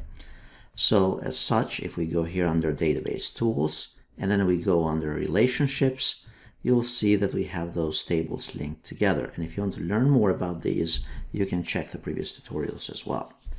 And now we can create reports based on each one of those tables individually, or we can create reports by pulling data from multiple tables. For example, if we wanted customer ID from the customer's table and the first name and last name from the customer's table, then we can also pull, for example, the contract number. We can pull also the amount and a uh, signing date and the contract type because those two tables are linked together. So let's learn how to do this. To create a report, we need to go here under Create tab, and then we can click here under Reports, and notice we have this whole section with reports. So we can create using the design option, the blank report, start from scratch, or we can use the report wizard.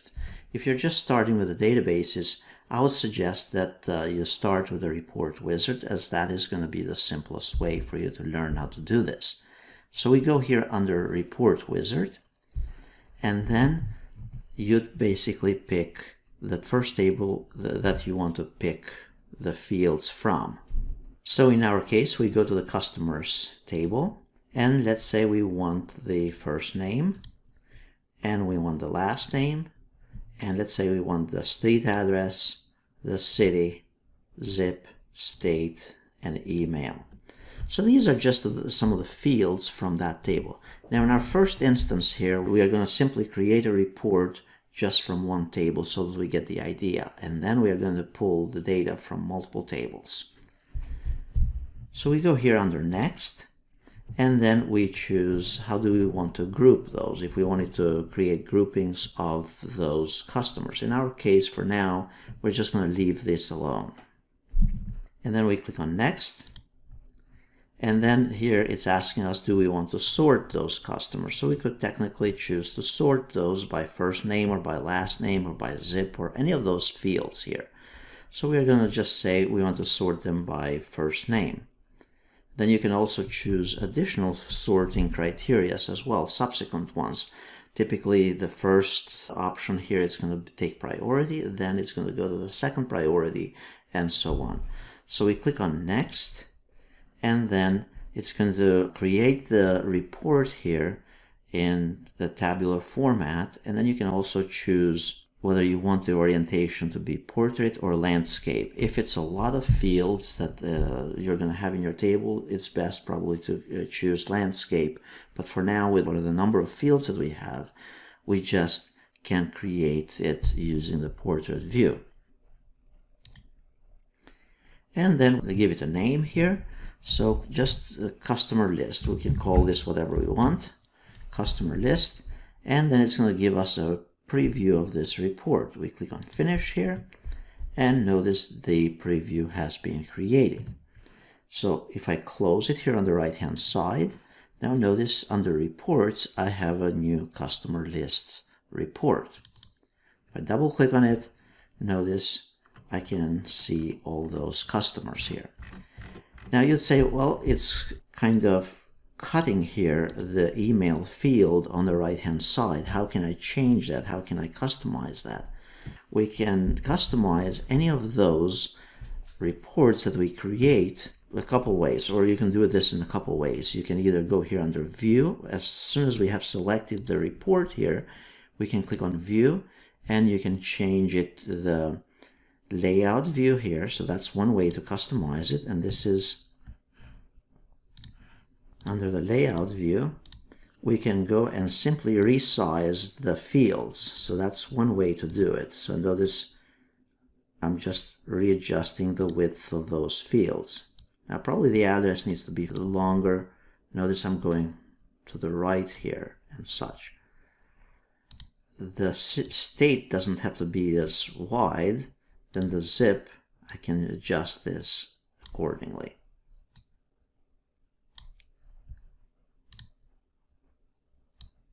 Notice you need to adjust the labels here on the top as well.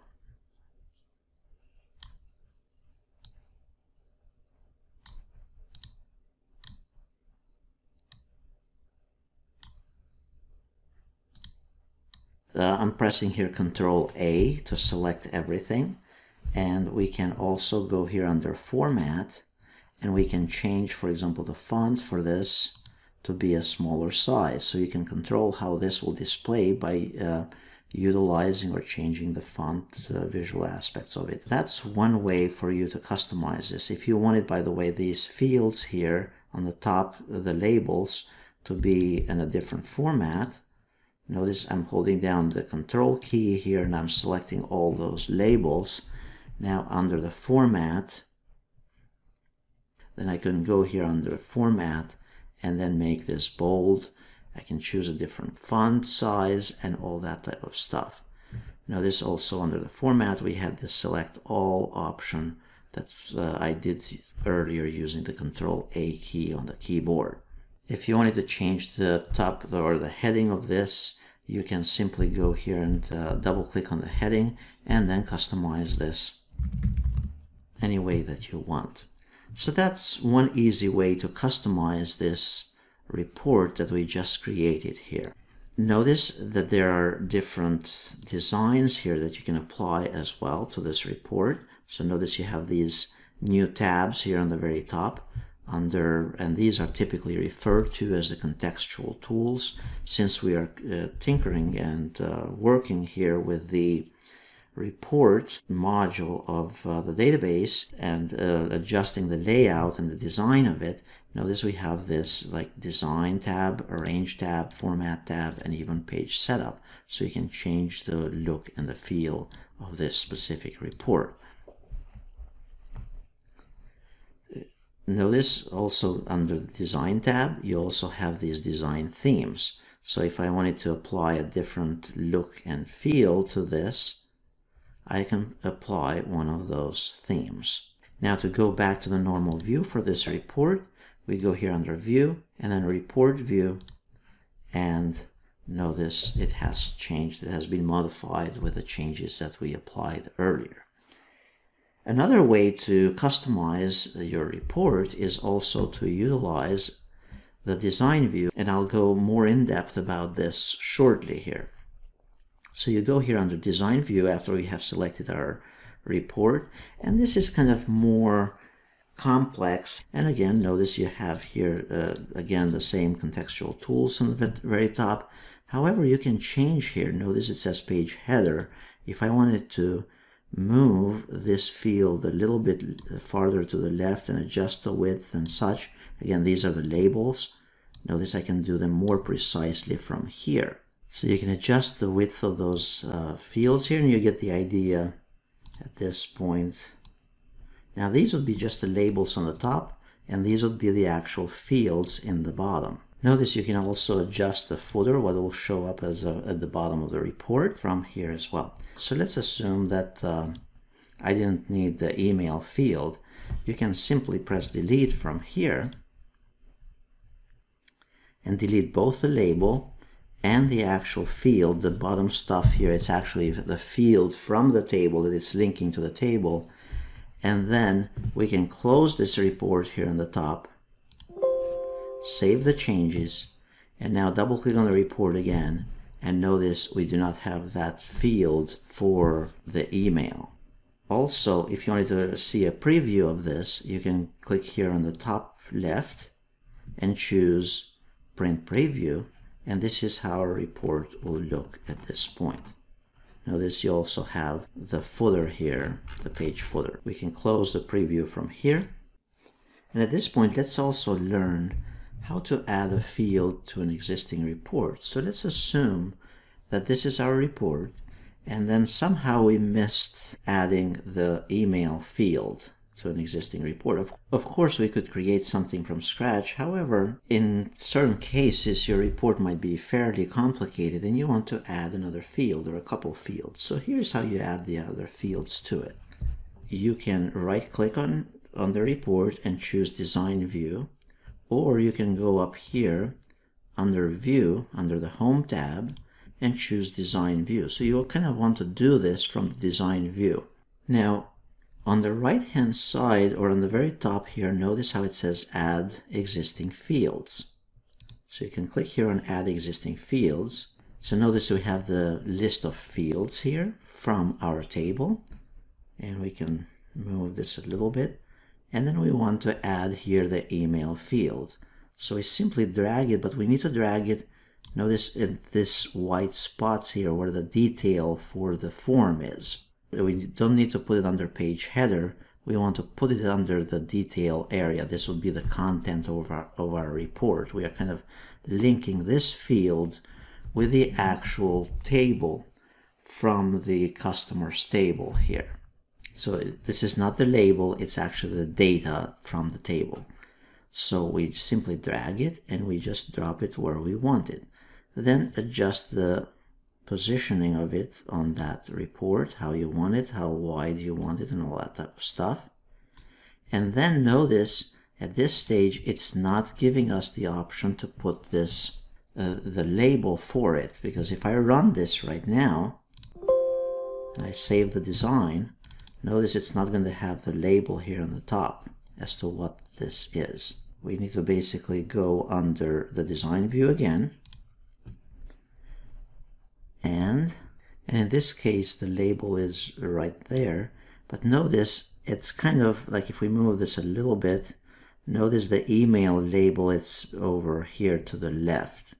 What you can do is you can simply click on that email label, the one that it came in, or the one that it brought in, delete it, reposition your data field here, how you want it and how wide you want.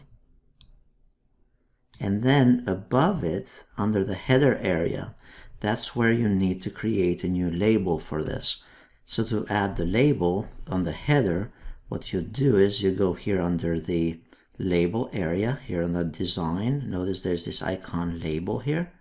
And then choose where you want that label and how wide you want it and then type in there email hit enter and then reposition it the way you want it. Realign it. Same thing with the one here as well. And let's go under view here and choose report view. Notice we have this email field created. If we wanted to, uh, to change the formatting and adjust the formatting again, you can simply go under View, go under Layout View, and then under Design, apply a different theme or apply the theme that you had from before. Now notice in certain spots here we have this, or for this, we might still need to adjust the formatting. Notice this has a border around, it, this field, so we might need to adjust the formatting for it and get rid of the border. To change the border, there are a couple ways to do that. You can either right click here under the field and notice I'm under the layout view. You can do this also from the design view. And if I go here under properties for this object. So once I go to the property sheet for this specific field, notice here under border, it says to use a border style solid and I can change that so that it's just transparent or nothing and then you can choose the border effect as well if you need it to if I go here under and close this now that border should not appear anymore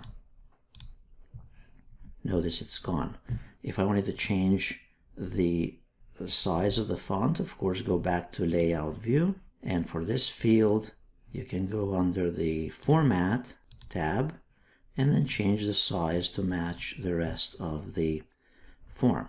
And then if we go here under design tab again, then if we go and view this report, this is how it will look at this point. Instead of spending all this time to, to customize the look and feel of this, uh, you can also go back here and use what's called the format painter. So you can copy the formatting of a specific cell and adjust it for other cells. So if I go back here to my layout view and I'll go and undo some of those things that I had done earlier, so some of those changes, notice right now if I go back to view here, notice I still I have my border stuff again here. Go under format painter here from the layout view and I can copy the formatting of an existing cell and apply it to another one. So I can go to any of these cells, go under format here, and then use this icon right here, the format painter. That copies the formatting of an object and applies it to another object. So click on it and then go to the other object, any of these here, and apply it. And now it's all changed automatically. So that's the easier way to do this. Then close it, click on Save Changes, and now you can double click on it, and this is your report. And this is the print preview of this report. So this is how you create a report. This is how you customize a report and how you remove fields from the report and also how you add additional fields to the report if you had an existing one.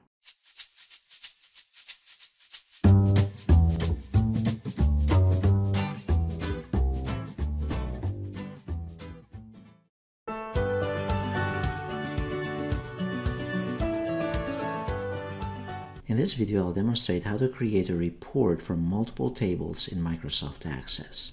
Reports are one of the most commonly used features of an Access database as a user. Most of the time, you're not going to be creating databases and you're not going to be designing them and you're not going to be creating new tables in a database even though you can do that. However, most of the time you're going to be creating queries in a database and you're going to be creating reports from the existing data from that database. Now the reports can come in handy whether you're in a, a corporate environment where you have a corporate database or whether you have an access database, but the concept is going to be pretty much the same. Since the tables are linked, typically and the linking of the tables you can see it here under the database tools and relationships. We have customers customers have contracts and then for each contract there are invoices as well. So it kind of all this stuff it's linked together. However now in our case we can create a report from fields from the customers table for example first name last name and, and contact information and also include the contracts. So we want to see who our customers are, what contracts those customers have. So that's what we're going to learn in this session. So to create a report, you can go here under create and then we want to go under this section here under the reports section and we want to look here under the reports section. My suggestion if you're starting is to use the report wizard. So we click on that and then we are going to pick some fields here from the customers table. So we go, for example, if you wanted the customer ID, you can pick it as well. Click on add customer ID, first name, last name, and let's say we want just their telephone number and the email address. Notice you can pick only certain fields. Then you can also go here under the drop down before we move to the next step and we can pick from the contracts table. From another table, we can pick fields from that table as well, because those tables are linked with primary keys and foreign keys. So we go here under table, uh, contracts, and now let's say we want the contract amount and then the contract type. So that's all we want in our case. Then we click on next. Since we are using multiple tables, the system is asking us, do we want to group the report results by customer or by contracts? So in this case, uh, if you have a customer that has multiple contracts, you want all those contracts for that customer grouped together. So in my case, I'm going to choose customers and it's going to list me the customer and then a sub-listing of all that customer's contracts. So that's what this is for. So you have customer up here and then the contracts will be listed right below it. Then we click here on next. And then, so what kind of levels do we want here? So we could say we want the customer ID, first name, last name, telephone, email, and then the contact information right below it. So then we click on next. And then how do you want to sort those? So we could sort those records and then you could also choose here the, uh, the report summary options.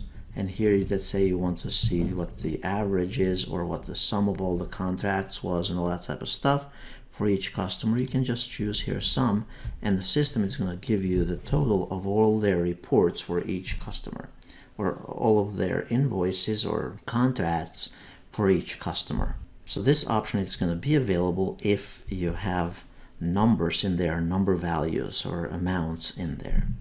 Then we click on next and then it's asking us do we want to have the orientation as portrait or landscape? And you can tinker with that and check it out. But in our case since we do not have as many fields it's okay to have this portrait. Then we click on next again and then we have to give a name for this report so in our case we'll say customers and contracts or you could say contracts by customer.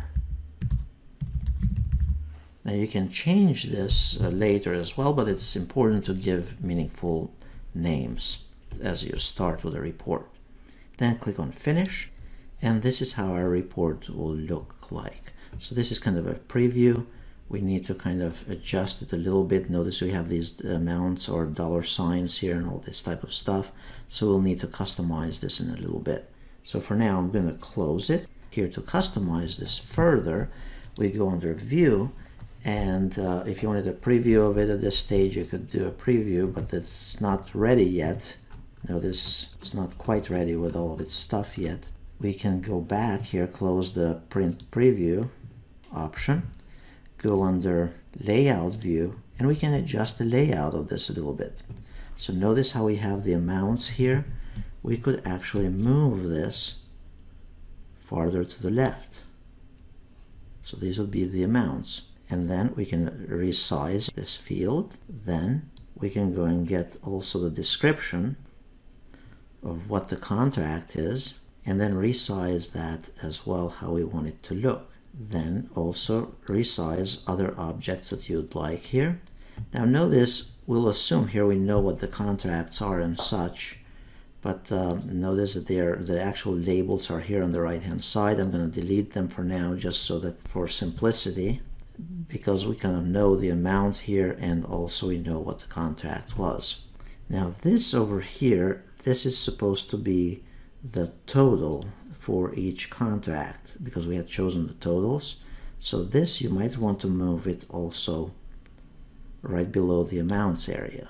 And then notice you have here summary for customer ID and then three records and such. You could change the wording here. Notice it has sum. You can move that field closer. And instead of just sum, you could say total. And basically adjust the formatting any way you want. Uh, remember, you can also apply themes for this to customize it so it looks slightly fancier without you having to waste your afternoon with this. And then if this is not very useful, in your case, you can simply delete that specific field here. And then also remember that you can apply here the formatting. So let's say I wanted the formatting to be something uh, like the previous cells here to remove this border. And, and notice you can go under format, take the format painter, apply it to another field and notice it's applied. So that's an easier way to apply the formatting.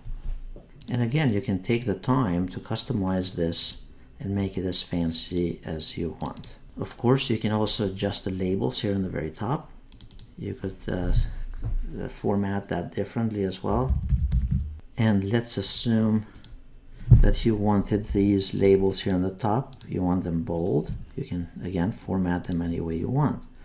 Let's say that you wanted also the actual customer information, just the customer data, a certain font or color or whatever, you could format it however you want and it would make it more visually pleasing. So this is one way to customize this using the layout view. So if I close this, and save the changes. By the way, you have to save the changes in Microsoft Access only when you're changing the design of something. Otherwise, it will save the data automatically into your tables or into your forms. So now if I open this up, again, this is what it will look like. If I go to the print preview, this is what it will look like again for the print preview. Not bad. You have the customer 11 or 1115 here, whatever that number is. And notice you have all their contracts and also the total for each contract here. And you have also the footer for this page, or for this report. Now, if you wanted to make this and make more changes in a granular format and such and go into more detail for tweaking the formatting of this, you can also use under, if I close here the print preview, you can use the design view. And under the design view, you can adjust here additional components. For example, the contact amount here, notice it's not fully lined up. I could adjust the size of it, could adjust the, how much space is between the amounts and contracts and the total here, and format certain things a different way. And let's say between each customer, I wanted a little bit more space. I could adjust the spacing after each record and so on. Now, if I go and save this and run it again by double clicking on it, notice there's a little bit more space between each customer and the total and the prior customer's information. So that's one way that you can customize this and tweak this uh, further. As you're working with the reports and such, and we learned about this a little bit in a previous video, sometimes you might want to add a new field to the report. So for example, we have this report here, but for whatever reason, we wanted to also know here what the actual contract ID is for whatever reason as part of this report. So instead of us recreating the report from scratch, we could simply add one more field to this report, to this existing report. So to add the field, you could either go here on layout view and then under this area right here add an existing field. You could do it from here and you could choose to add so right now it's showing us the fields from the customer table. However, we could choose all tables and we want it under the contract table and we wanted, let's say, the contract number. And we want that contract number at the end of the contract information area or wherever you need it. So we could drag it from here, It actually put it in the very beginning, and place it basically wherever you need it, wherever you want it. I'm going to delete the little label for it in the top for now so that we keep our report slightly cleaner. Adjust the size of it accordingly, how you want it. Change also the font for it. And that's one way to display it in there using the layout view. The other way to display this field in there, to add this field, and this is what you'll probably use in most business environments, is by using the design view. So if I go here to my report, I'll close it for now, open up the report again, and go under view, design view, or I could right click on it and choose design view. That's another way to do it. Now at this point, notice these are my existing fields. I have uh, the contract amount, I have the contract type. However, let's assume that right uh, next to contract type, I want to add another field. In this case, I go here under add existing fields and I could add the field the same way that I showed a moment ago and drag contract number over here. I want to delete the label for it unless you have a use for it at this point in this view and probably don't need the number to be that long and then that field at this point should have been added. So if I close it and run it, I should have the contract number at the end of each contract for each customer here. So at this point, let me explain how this data is actually linked to the, and how you control the linking of each field to the actual table. Because the data from the report is actually pulled from the tables. It's not really stored in the report. It's actually just at any time you run the report, it's querying, it's looking up the data in the table, and it's displaying whatever the criteria is that you had specified.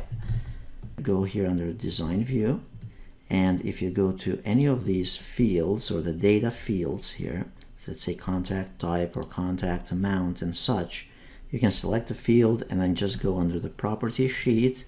Property sheet it's going to do is it's going to bring up the property details for this specific field that we just selected.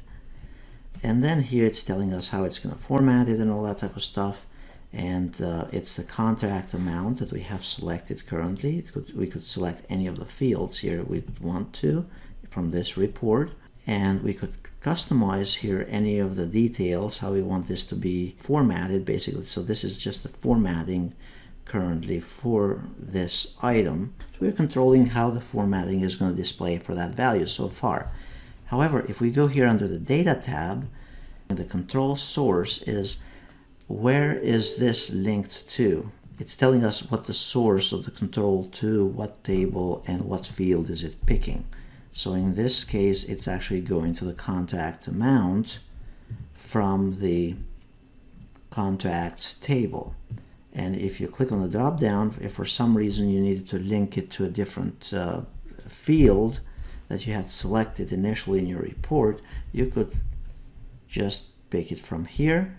Or if you want to link it to a completely different field that does not show up over here under the list of fields for your current report, you can click on these three dots and then go under your database that you have opened and you could link it to a different field within one of your tables.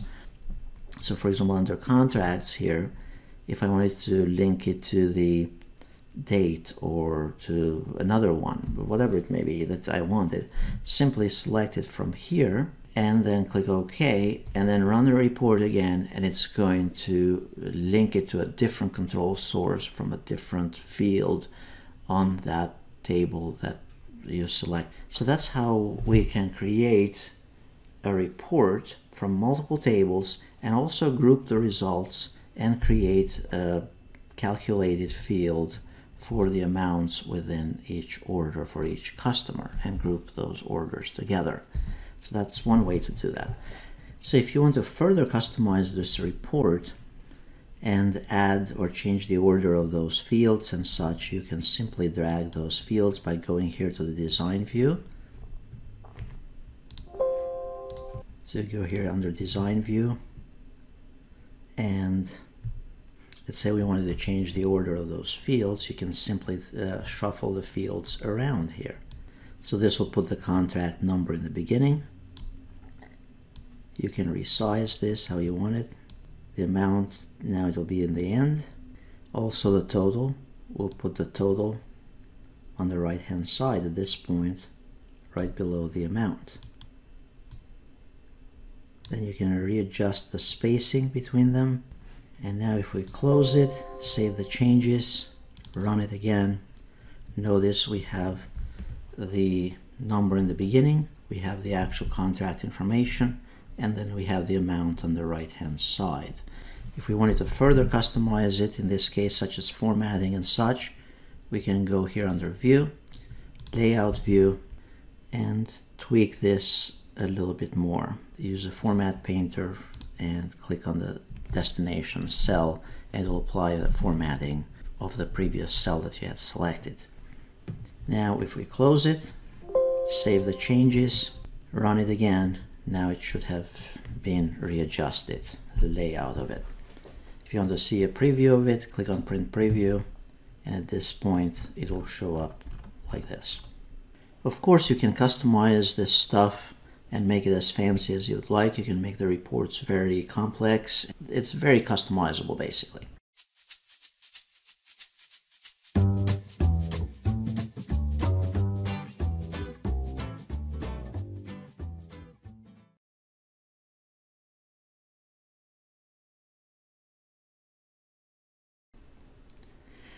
In this session, I'm going to demonstrate how to create a query with user input. And as a result of that query then we'll create also a report where the user will have to input data some kind of data and then the report will be created automatically or generated automatically. So first uh, we have here a table called contracts And the contacts table has, notice, the customer ID, amount, signing date, and such. By the way, this works the same way for multiple tables as well, as long as they are linked together. So the concept, it's the same whether we are using a table here or multiple tables. So in our case, we'll want to create a query where the user will actually have to input, let's say, the, the date, a specific date.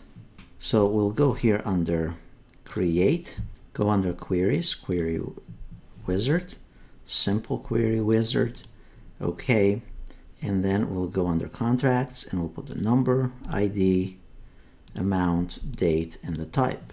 Any of the fields that you want to include. Click on next, next, and initially we are not inserting any criteria yet. We give it a name and then finish. At this point, notice that it ran the query with all the fields that we selected. And the query is listed down here. Now, this stage, we are going to go and change the design of this query where the user will be prompted to enter, let's say, the date. We are going to change the design. You can either do it, uh, open it up here, this query first, and then go under the Home tab, and then go under View, and go into Design View, or you can right-click and choose Design View. Now notice here, these are the fields that we have selected that we are using for our query. And notice under there's an option here for criteria. So let's say we want the signing date. We're going to put a criteria in there where the user is actually going to input that. And the criteria, if you're going to use user input, you need to put it in brackets.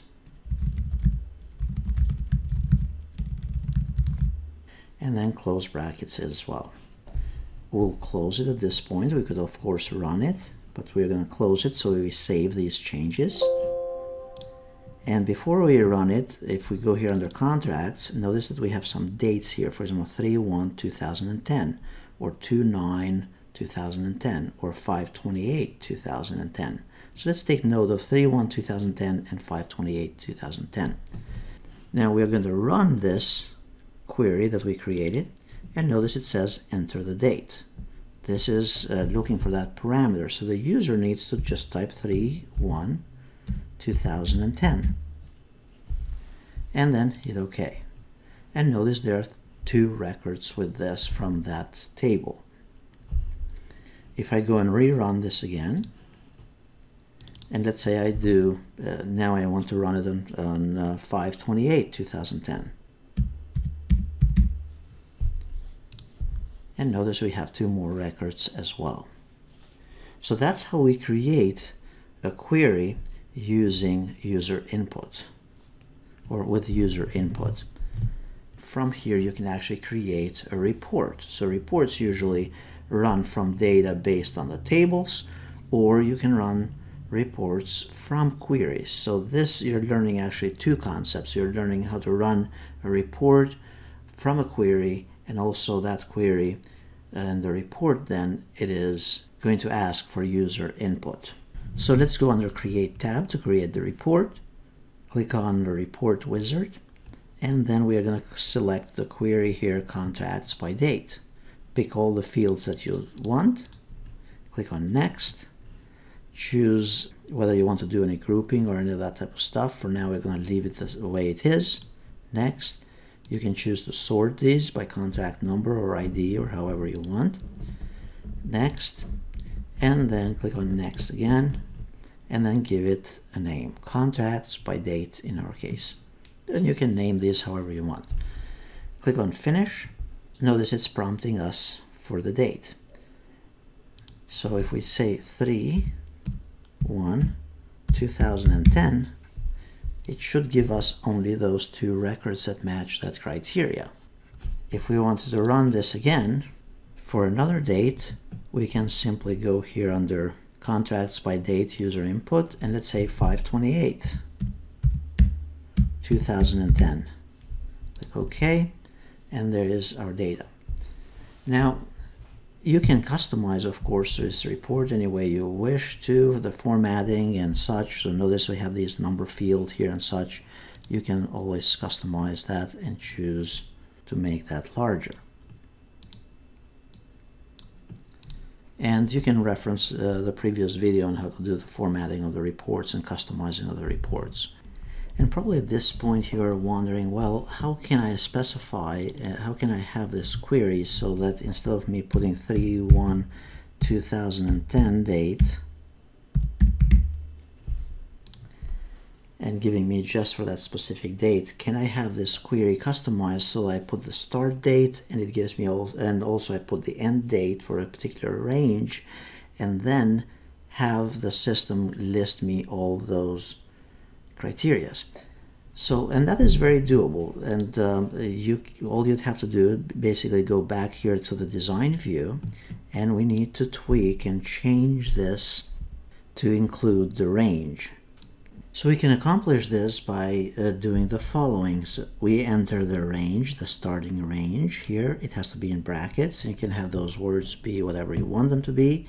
You put also the end range in brackets as well. And you use the word and in capital letters. Now here we are saying we want anything greater or equal to the start date and anything less or equal to the end date. Then we save this by clicking on the Save button here on the top. We'll close the query and then run it again. Now it says enter the start date and we enter 3-1 2010. Of course, it has to fall within the range of data that you have in the system in your table. We enter also the end date, 528, 2010. And notice the system displays the data that falls within those parameters. We could run this for any date ranges. So we could say 1, 1, 2010. I want to see all the contracts from uh, the January 1st and then all the way for the first six months to 630 2010 click OK. And notice these are all the records or all the contracts for that date range. Now you can do the same thing. You can create a report for this where you can run this report at any point.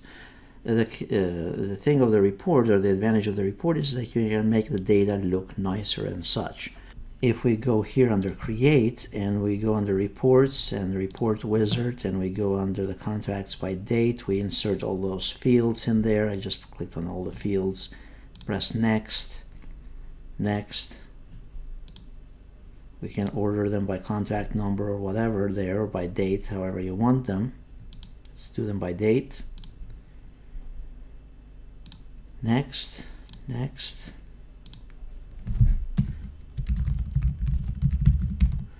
we give it a meaningful name click on finish. Notice it's trying to run it at this point so we say uh, 3 1 2010 to 12 31 2010 click OK.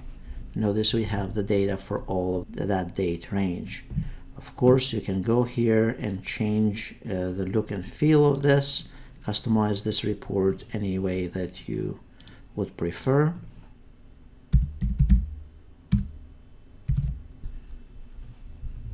and you can go into the edit option here under design and then view and the layout view and adjust how this is displayed.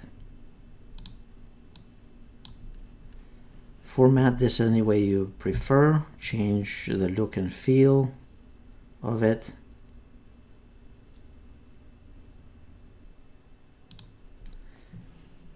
Close it, saving it and you can run this report at any point for any sales or whatever it is and it works exactly the same way with multiple tables as well as long as they are linked properly. So that's how you create a report based on a query with user input, whether it's single user input or multiple user input. It's one of the powerful features that most users will use in Microsoft Access from day-to-day -day tasks and business tasks.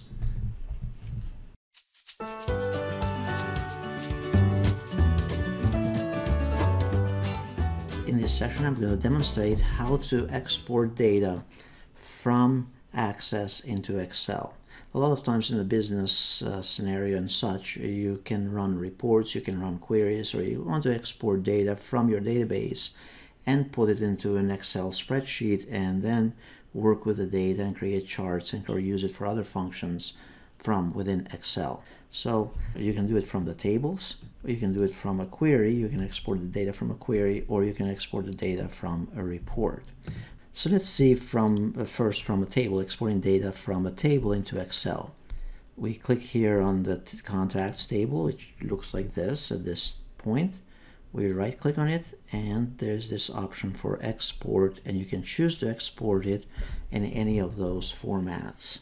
You could also go under external data here and choose to export from up here into Excel. So right click, export, Excel, and then choose a location where you want to save this and uh, how you want the formatting and the layout if you prefer. Click OK and you could choose to save those steps. Those steps, by the way, will show up on the external data here under the saved, saved exports. Click Close now that data should be in Excel. If I go here to my file manager, notice I have a file here called contracts. I open this file and now I can work with this any way that I prefer from Excel. And of course, they are two separate entities at this point. So if you change something in Excel, it's not going to update it in Microsoft Access. So that's how you export data from a table. The process is exactly the same for exporting the data from a query or from a report. So for the query, we run the query first. So in this case, I have the query here, the date parameter and all that type of stuff. So, so this is my data. And now at this point, I can simply right click, choose export, Excel, choose where I want to store it, give it a name, press save, and finish. And we can do this uh, for the contracts as well by customer. Same thing with the report. This is our report. Right click, choose export, choose Excel format, choose where you want to store it. Notice contacts by customer report. Click OK. And now if I go to my um, folder where I exported this, notice the data is there. And this was the query that I ran earlier for the dates from January 1 to June 30th from the query. So that's how exporting data works from Microsoft Access to another system such as Microsoft Excel. It's a commonly used feature in business.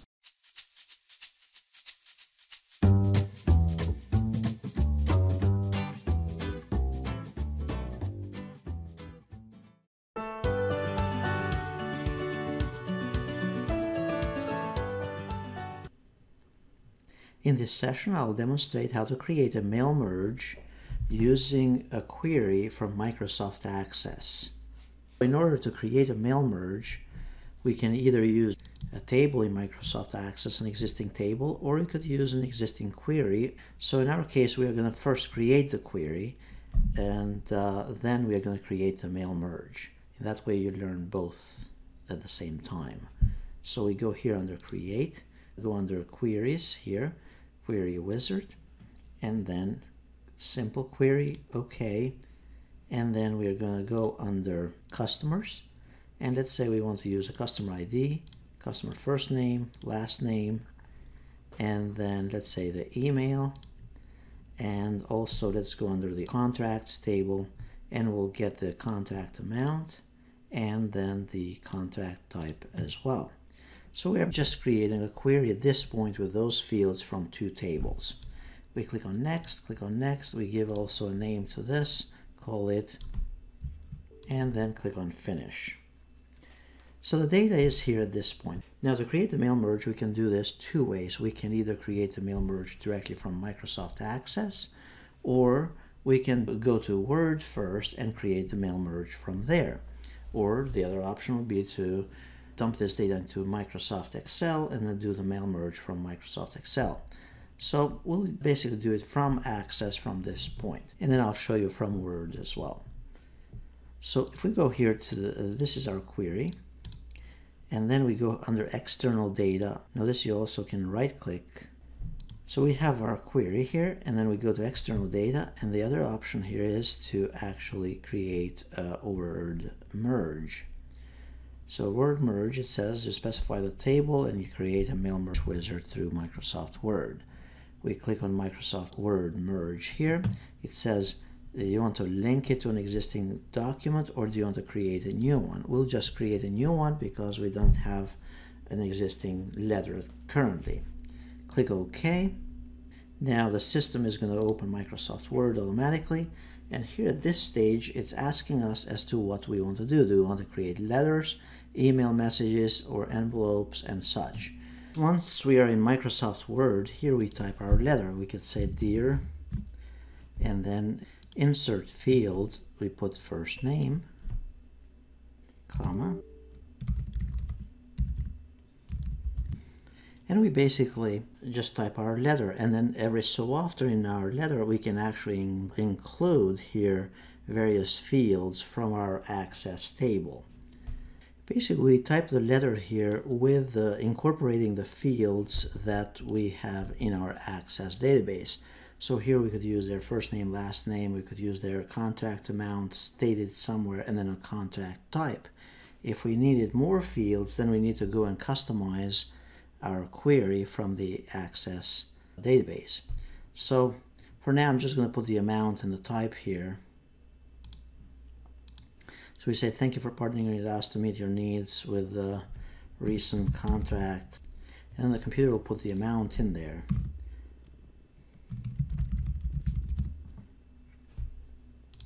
you could put the contact type. Of course, it has to make sense. And then you basically finish uh, typing your letter. Then we go here under the next stage here, or uh, start your document. And then we can use the current document in our case, or we could have created, uh, used an existing document if you have a letter from before. Then we go select recipients we'll use an existing list and then we'll select the existing list here which is basically a customer query for mail merge. So we don't really need to select the list. It's already selected because we, we started the mail merge from Microsoft Access. So that's how it's linked automatically there. Now here we write our letter which we actually just did earlier. And then it says here preview our letters. Notice dear Owen and then contact one and then this was the contract. And then the next step here is to complete the mail merge so we click on complete the merge and then edit individual letters then click OK here now here we can see all the various letters from that mail merge from that specific query now keep in mind this, you don't need to modify. If there is something that uh, needs to be corrected and such, you need to actually go back to the database and change the information in the database and then rerun the query.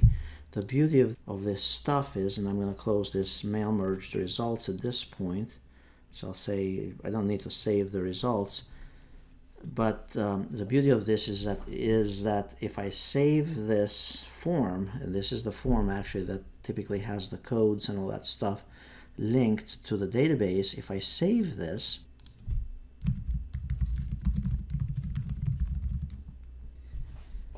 and then I close Word, and then I come back here to my uh, document.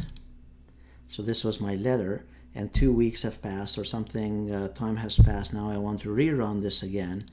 Notice if I open it up again, it will ask me, do I want to update it for link to the access uh, query? I say yes, and now I can go ahead here and go under mailings, go under mail merge, and then uh, step by step, and pretty much here I don't actually have to do them step by step. I could go here under finish and merge and then edit individual letters and it's going to actually rerun the whole query again. I know I did this fairly quickly, so you can rewind the video and see it again for your uh, benefit. But the advantage is, is that you don't have to always create a new form.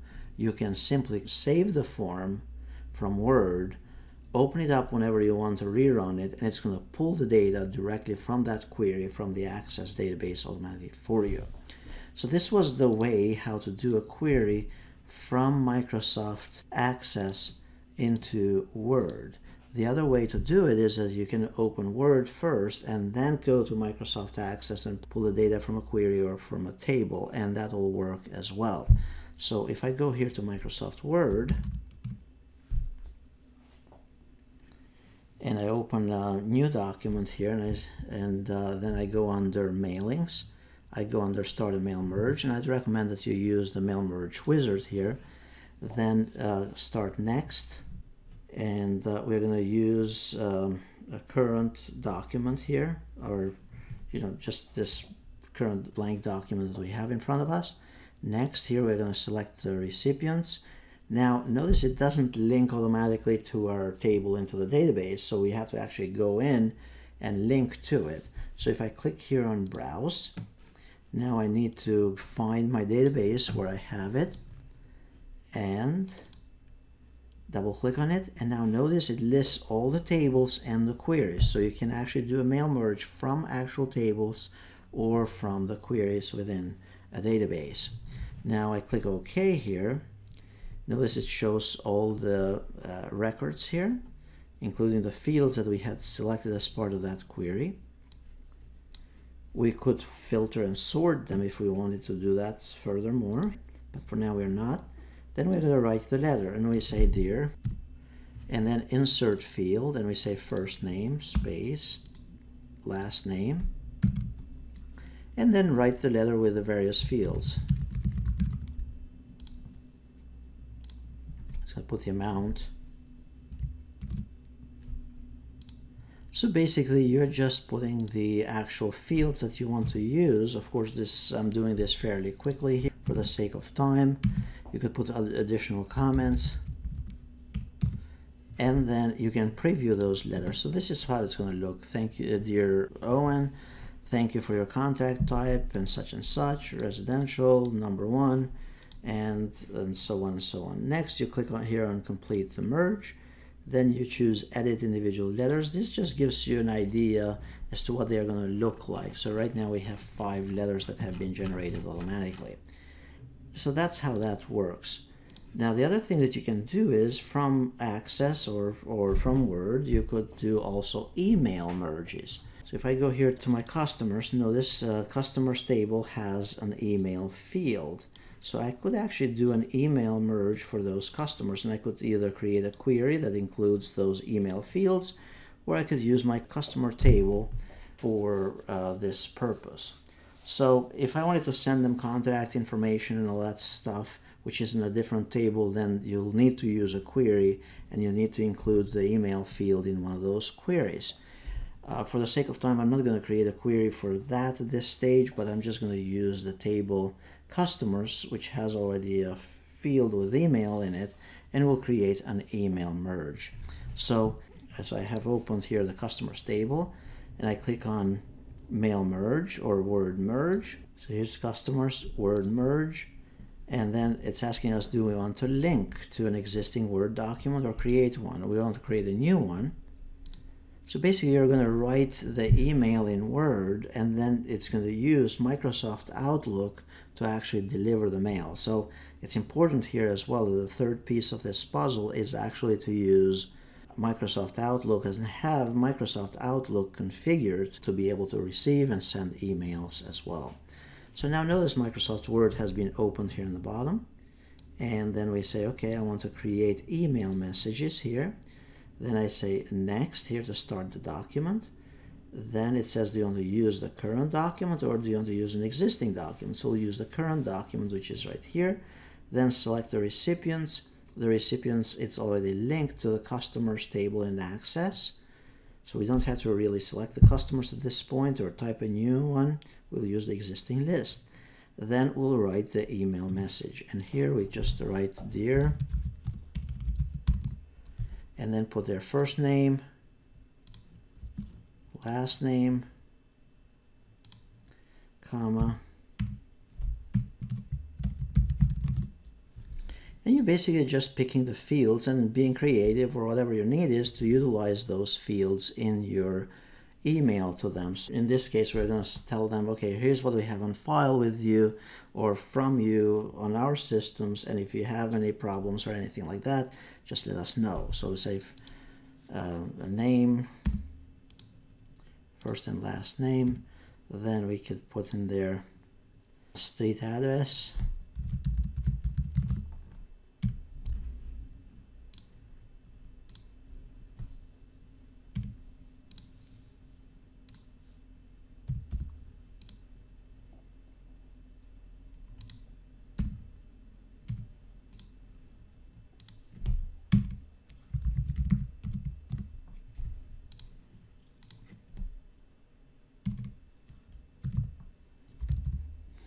you basically format this a little bit nicer if you'd like. You can go here under the home tab and customize this any way you want. And so next you click on preview your email message. Then you complete the merge next. And then we're going to choose here electronic mail. So this is the difference between the word email merge and a regular mail merge for letters. Here for the email merge you have to click on electronic mail and then the other field here, the other important thing is that you have to tell the system which field actually contains the email address. So in this drop down, it has to be the field that corresponds with the email address from your access uh, table or access query. For example, here is in access, this is email. It's called email, the label on the top here and then you type the subject line here. So this would be just like as if you were to type an individual email to somebody. That would be the subject that you want to write to them. And then the email format uh, HTML you want to use HTML particularly if you want to embed pictures and things of that nature as part of your uh, document here. But uh, what we typed over here is going to be the body of the message that is going to be sent through email. Now again it's important uh, if I press OK here it's actually going to open up Microsoft Outlook and it's actually going to try to send all of those emails that are in the table in the Access database. So it's going to try to email here uh, 42 customers all in one click basically.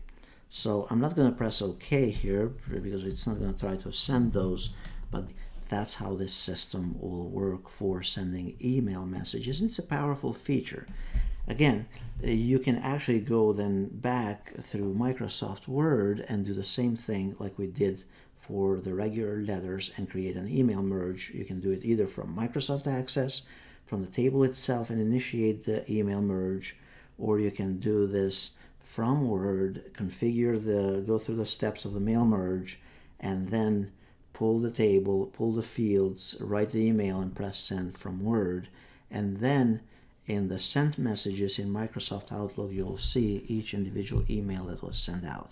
So that's how you do a mail merge and an email merge. And of course, you can also do labels if you needed to from here as well through Microsoft Access.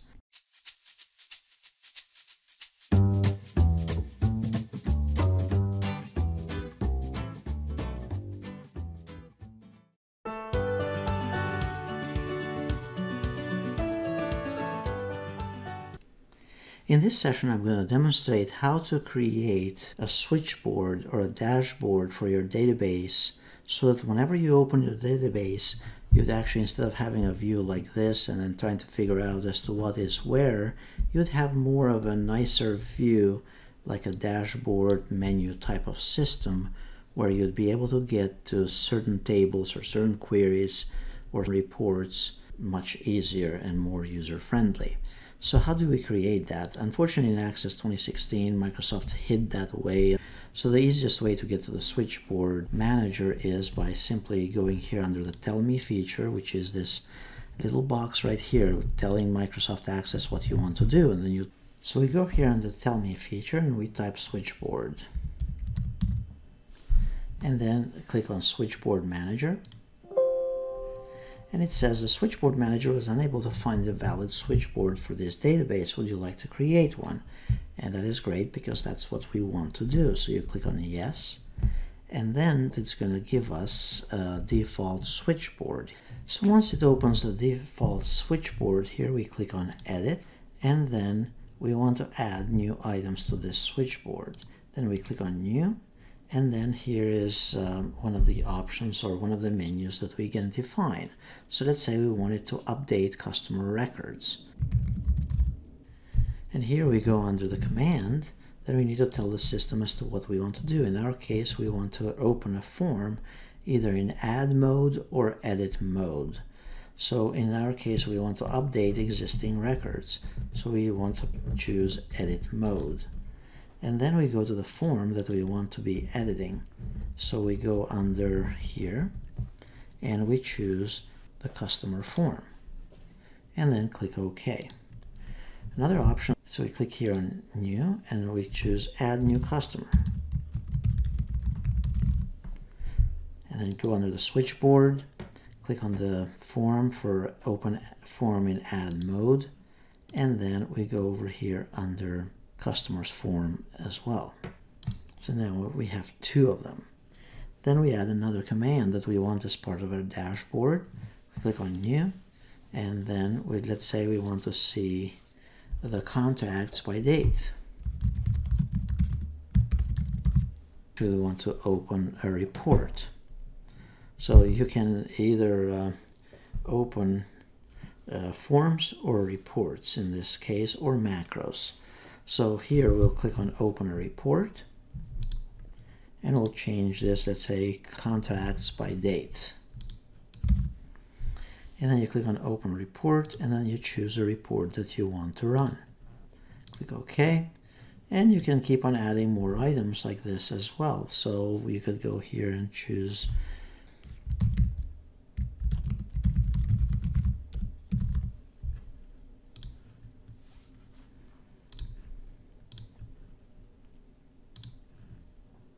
Then you can also choose a new item here, return, because you want to navigate back home. You choose go to the switchboard, and the switchboard that you want to go is the default switchboard. So I close the main switchboard. Now I can go and create additional switchboard pages as well.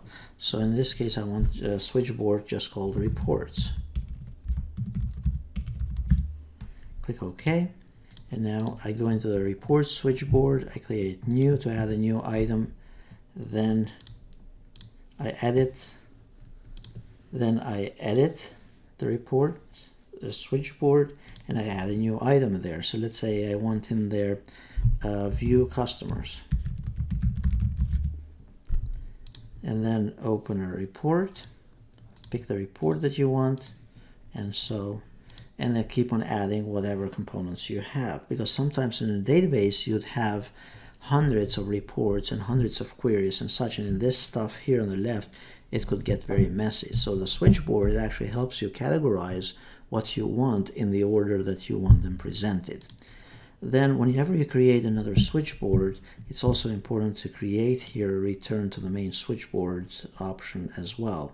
So return home and then you want to go to the switchboard and you want to choose which switchboard you want to go to. Click OK and then close this stuff. And then close it again. Now whenever you define the switchboard you also have to do one more thing in order to tell Microsoft Access and the database so whenever it opens which form to open.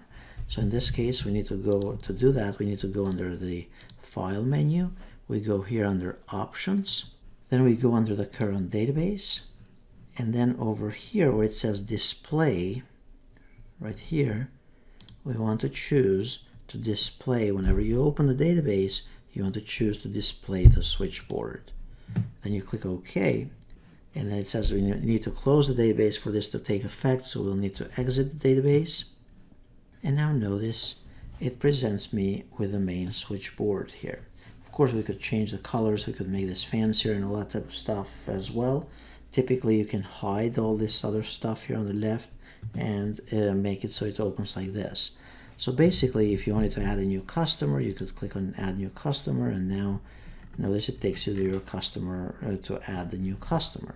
If I wanted to view the contracts by date range, so notice it's going to prompt me for the contracts. And it's going to play me the report content that I had requested.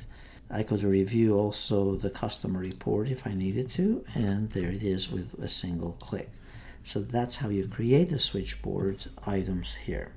If you wanted to change the colors and all that type of stuff, you can simply go here under view and then under either design view or the layout view, you can change the theme to something more appealing to you. And you could add more controls and you could add more text in here as well.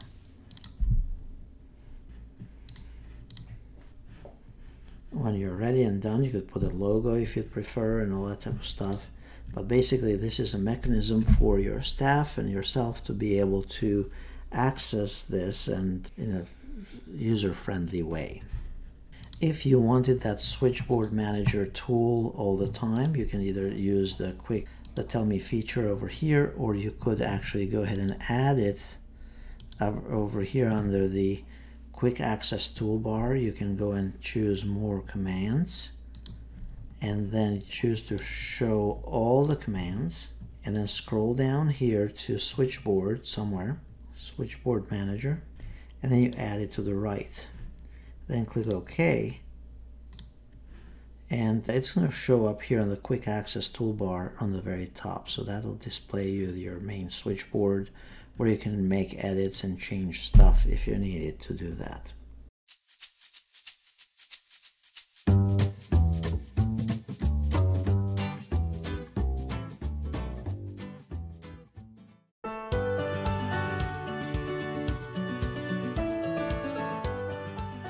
This tutorial, I'm going to demonstrate how to add a new field to your database or to one of the tables in your database. Suppose that uh, you designed your database and now all of a sudden you have a need to add an additional field for your customer table or some of the tables there.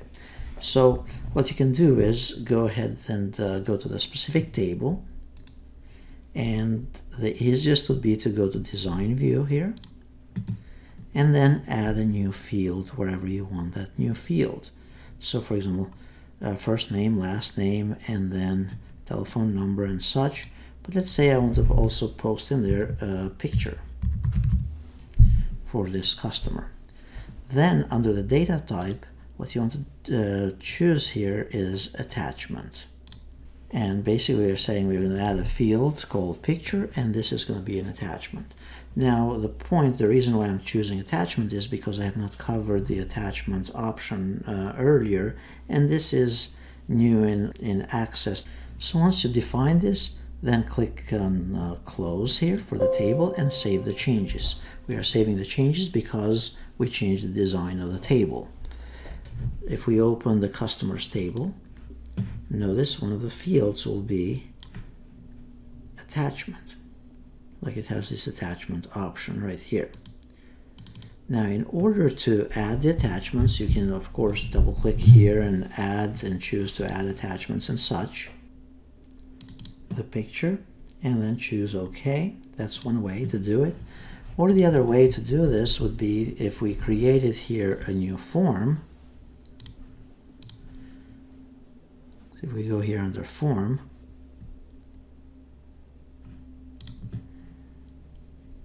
and under customers we add all these fields, next, next, finish.